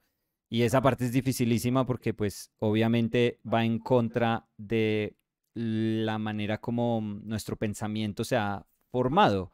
O sea, todas las cosas que nosotros creemos saber son con base en experiencias, experiencias propias. Y entonces es súper difícil de repente decir, bueno, esto que yo creía saber pues ya no es. Porque ahora cuando observo, eh, la observación directa me está como arrojando otro, otra noción de, de cómo entender ese estímulo de, de la realidad. Entonces, es súper bonito, es súper, súper bonito. Pero ese también es un camino largo, pero además súper chévere y además muy personal. Entonces, no se, no se afane William, eso llega y más bien goces ese momentico donde está tratando como de, de descubrir todas esas cosas que, que la verdad son súper chéveres. Em, Gabriel Pozo preguntaba que si Beltrán, sí, sí, él Sí, estaba Luisa. hablando de Luisita, Sí, sí, de Lu- Luisa Beltrán, perdón, es que Pues nosotros estoy acostumbrada de cariñosamente. cariño, sí, a decirle Sí, Luisita. sí. A Luisa la conocemos desde hace mucho, mucho tiempo. Eh, y no es Luisita como por pormenorizarla. No, no, no. Por Dios. Ella es enorme. Lo que pasa es que Luisa es chiquita. Es como Dani es muy petit. Entonces, eh, Sí, es es- Luisita de cariño. creo que todos los que la conocemos y la queremos mucho le decimos Luisita, pero pues es de solo, solo cariño por ella. Mm, so Squars was asking which painter of the past you could the most love you could the most love see a streaming? You like you would Oh. love seeing a streaming of? Oh, could you ma- I I would love either uh, Velázquez or Rembrandt for sure. Yeah, they were saying Squars was saying Van Gogh should be fun. Yeah, yeah, yeah. I was, I was. Can I say I was? Um, I was at the Met, and they have some um sunflower. They have a sunflower painting there that's usually surrounded by a lot of people, and a lot of people take uh, photos of that painting. Um, and I've always, you know, I, I've never liked those paintings that I feel like.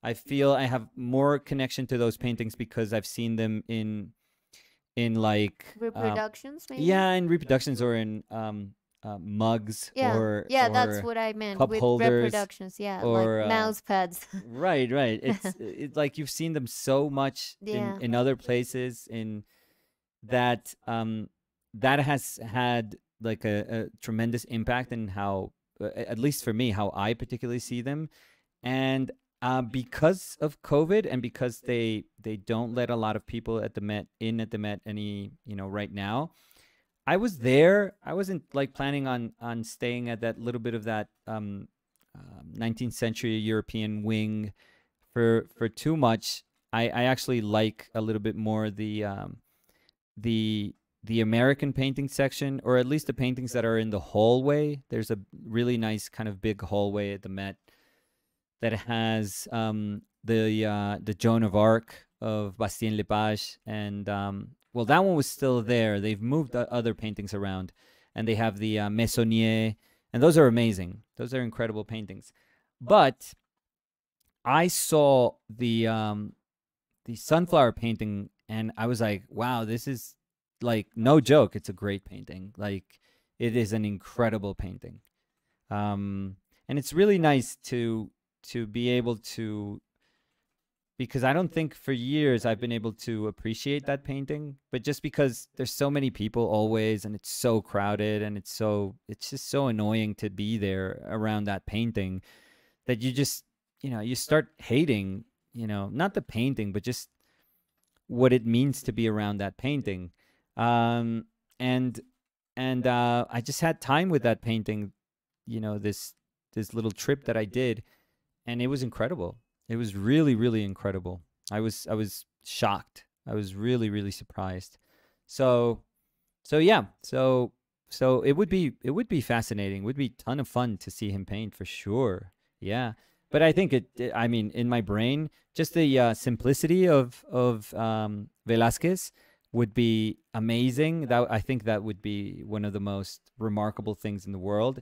And i'm sure i'm sure that he would make it look like it was nothing. So I'm sure that even looking at him, I would have been like, oh, this is cake. Like, yeah, I could go back to the studio and paint this, only to then realize that it was just impossibly difficult to um, to replicate. And Rembrandt, just to see how he pushed paint around, I feel that he's one of the most fascinating artists in the in the sense that, um, you know, he's he's in many ways a, a baroque artist like many many other baroque painters he was dutch so he's like many other dutch painters um but there's something just fundamentally different about the way he moves paint and um i would have loved to see that because i don't think anyone has ever understood that or has been able to replicate it ever. So it would be, yeah, it would be a treat for sure. They're asking, um, what's your favorite Velázquez? Oh, you know what I you know which painting I love? The Forge of Vulcan, I feel. Yeah, I really like that painting. But it's it's super hard to pick a painting, I feel. But yeah, but I I've always always loved that painting. Mm, Gabriel Pozo pregunta, ¿Nicolás ha conocido a Desiderio? No, no, personalmente no. Pues conozco la obra de él, eh, eh, pero no, no lo he conocido. Conozco mucho de lo que también habla.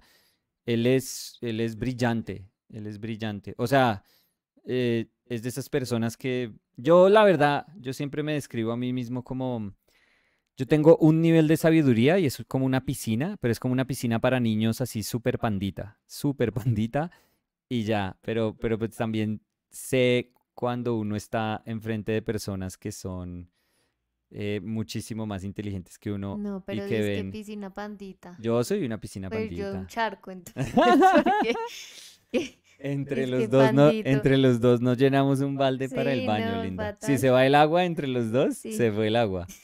Toca orinar en el lavamanos. Bueno, ya te fuiste. Sí, Para la muestra, para la muestra m- un- mi nivel un de botón, ya ibas a decir no.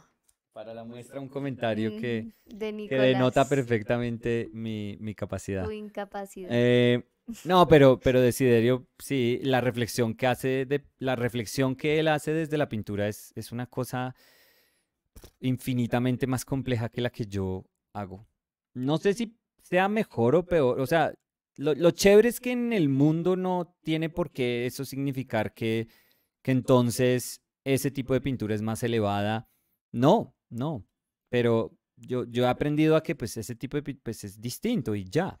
O sea, la realidad es que es simplemente distinto.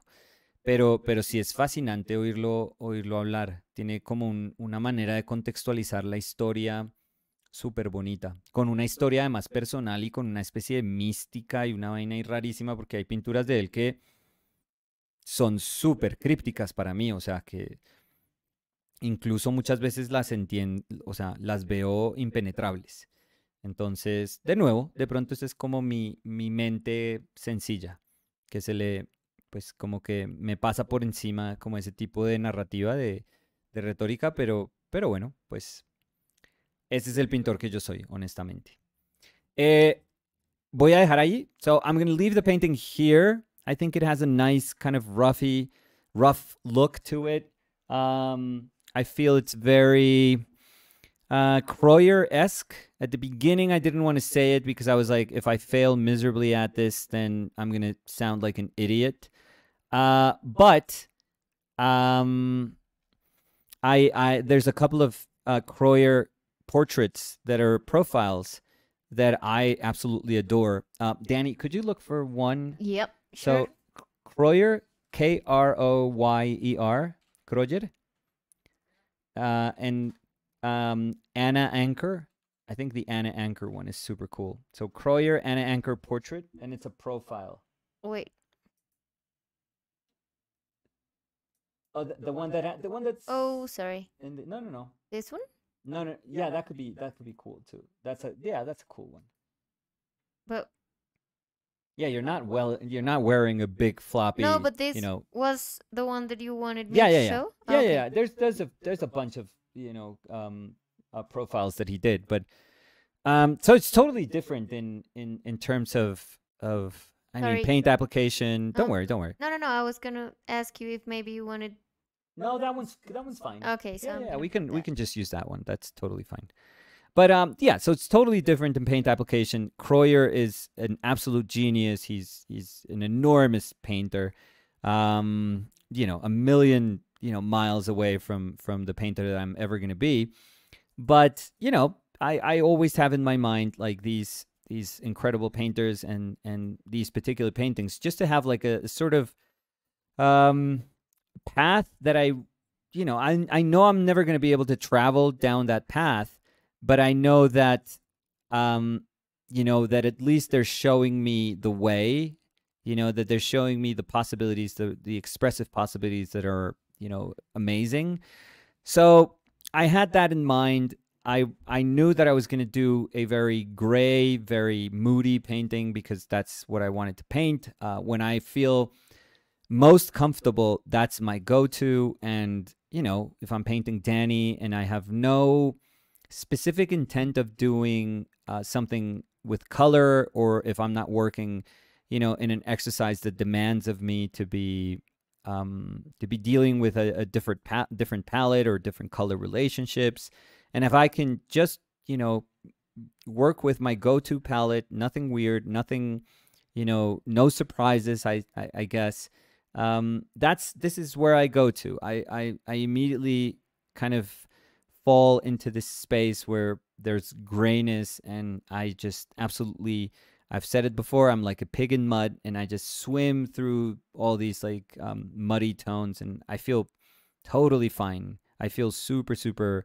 comfortable there. Um, I I was able to integrate some of these little spaces, interstices between uh, brushstrokes, which I really like to leave uh, because they speak about the paper. So you can see them here, here, in the neck. I think it's very nice. Um, there's a couple here that I left. There's that because I just I didn't want to make that edge sharp. Uh, I think that the sharpness I wanted here, but I didn't want the sharpness to come from way up here. Uh, much rather come here and then down and then bits of sharpness like in here and here. I thought that was in terms of edge work. I, I thought, oops, I thought that would be uh, really nice. Um, and in terms of, of painting, I love the um, application. It's really scratchy in some areas, very, very scratchy. Part of the reason is because I'm using like a softer um, uh, bristle brush, like a hog bristle brush. So uh, let me, I don't know if you guys can tell, but it is soft. Like it'll deposit a ton of paint because that's what good bristle brushes do, but it's softer. Um, so it behaves very differently from from the brush that um, the other brush that I was using that was a synthetic one. Uh, so there's very nice variations of texture. It's incredible how this surface allows me to get a very thin veiled surface, thin paint over here, very kind of nice brushstrokes like the one coming down the um, the bridge of the nose, very scratchy, almost like dragged a, a, dragged surface. It feels like that's uh you know you could argue that that's the result of of many layers of paint and you know it's still a, like an alla prima session. This is very nice too. There's softness here a little bit of more impasto here. So um brush like the brush stroke variation i'm super super happy with. I think this there's an essence of Danny there. It's not quite in, it's not quite what I saw in the photo. That that's what kind of bothers me. But once I'm divorced from looking at the photo and I look at my painting, I feel I feel good. I feel happy because I feel Danny here. Yeah. So uh, I do you do you myself- feel yeah? yeah. Do you see yourself? That's 100%, yeah. awesome. Oh, that's super cool. That's always very comforting. Um so so yeah, so those things I think um helped a lot.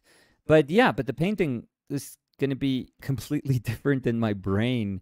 But this is where we ended, and um, I think it's okay. I think it's uh, it's it's okay to be. It's okay to to know that many times that's going to happen. I mean, it doesn't mean that you have a license to do whatever the hell you want, eh, but it means that you have to deal with new variables, and you know you have to kind of figure out how what your role is in this painting that it's almost developing you know outside of you um you know when when do i push back and when do i say no no no this is going to the, towards the wrong direction. I want to control it more. And when do you just say hey there's super nice things happening here. I'm just going to navigate this um and uh let's see where it takes us. So i think my painting is always like a mixture of both of those things. So i think today was uh, like a clear example of that. So um yeah so that's gonna be it i hope uh, i hope you guys liked it i hope it was a good uh good friday Good Friday live session. So if there's any any comments or questions, just to uh, finish it off. Yeah, so um Kevin McGivern was saying awesome to catch you live, Nicolas. Awesome, thank it's you. It's late here, but I'm not going to bed until you finish. Oh, dude, awesome. I hope you did. I hope you didn't log in like two minutes ago, and I'm like, so I'm done. Bye everyone. I gave you time to uh, post that comment, and then it's like I'm I'm I'm done. Good night. um, No, but thank you, thank you so much. Awesome to have you here, even if it was for a little moment. Great. Raw Dog says the painting looks amazing. Thanks Thank you. Danny and Nico for helping us. I really love this channel. Oh, thank if you. If I post a Danny painting too, what Yeah. hashtag should I use? you could um, use hashtag Danny can't sing. No. hashtag, okay, yeah. Hashtag Danny can't sing, Hashtag, and hashtag our painted Danny our lives. painted lives. Yeah. Hashtag our painted lives. and hashtag Danny is good at Cuphead. Yeah. No, but you can use hashtag our painted lives so we can see it. Hashtag Danny is the cute one. hashtag Nicola Nicola look, gaggle, gaggle, Nicola. goggle. Um yeah, so Yeah, let's leave it at that. Yeah. What? No, let's leave it at that. Yeah. Like, Oh yeah, I was not gonna fix it because I'll ruin ruin the joke. Something's happening with my English today. yeah, it's leaving you. Yeah. No, but it's super hard. You know what's hard? When you have to go Spanish, English, Spanish, yeah, English all and the that's time. the thing because Yeah, it's super hard. yesterday I was with my family for a little bit, and of course I was not thinking in English at any moment. So yeah. for now m- I'm for me, it's for me it's difficult. yeah, Like the if if I have a workshop that's enough time that I can speak in English, like it's it's better. But um but if I have to go back and forth, yeah, it's always gonna No, I'm and- always gonna get like expressions weird and for me yeah. today has been terrible. I feel Yeah, like I try to say not- something not in your A game. and I feel yeah. that I have the um, Yeah. Simpsons. let me talk. The Yeah, Simpson terrible. monkey clapping in my head. Yeah, that's me today. yeah. uh, yeah. That's that's what I have to deal with, guys. Yeah. mhm. no, I because mean- in in I mean, Spanish, no, I mean- in Spanish, I'm better. Oh yeah, a little bit. A little bit. Yeah, a little yeah. bit. The monkey's bigger. um. Now, yeah. So they were saying thank you too. awesome. Mm, wonderful. Gracias. Thank you guys. Awesome tuning tuning in. Awesome. Um, thank you both so much for this. I did a quick sketch with you. Was fun to join you. Oh, Shade. Also, if you want to share it, I mean, no pressure, but if you want to, remember to use the hashtag. Hashtag oh, groggle Radug, Radug groggle. typed hashtag Danny is the cute one. Hashtag hashtag. Yeah, jen- jen- jen- so just copy, just copy paste with raw dog. Hashtag Uh, Danny did. can sing and hashtag our painted lives. There we go. Those are perfect. Um, Rajita says this was super entertaining and beautiful painting. Thank you. Yeah. So thank you everyone for Yeah. joining us Have a good Friday, whatever that means. If you guys are going out, just have a you know go have a great time. If Mhm. you if you're not going out like us, Yeah. Go watch a movie. Go watch something kind of cool. Go watch. Uh, go to sleep. If you guys are going to sleep, go rest. Go Yeah. watch the documentary that I Which told one? that I the one that I suggested everyone. Oh yeah. Dear oh, Zachary. it's Friday. Come on, it's Friday. Don't ruin the Dear weekend. Zachary. Oh my God. Yeah. Yeah. So it's a good one if you want to. yeah, I hope everyone has a uh, has a great time, whatever that means for everyone's life. So we'll see you guys on Monday. Love Thank you you, guys. everyone. Thank you. Bye. Bye. Ooh.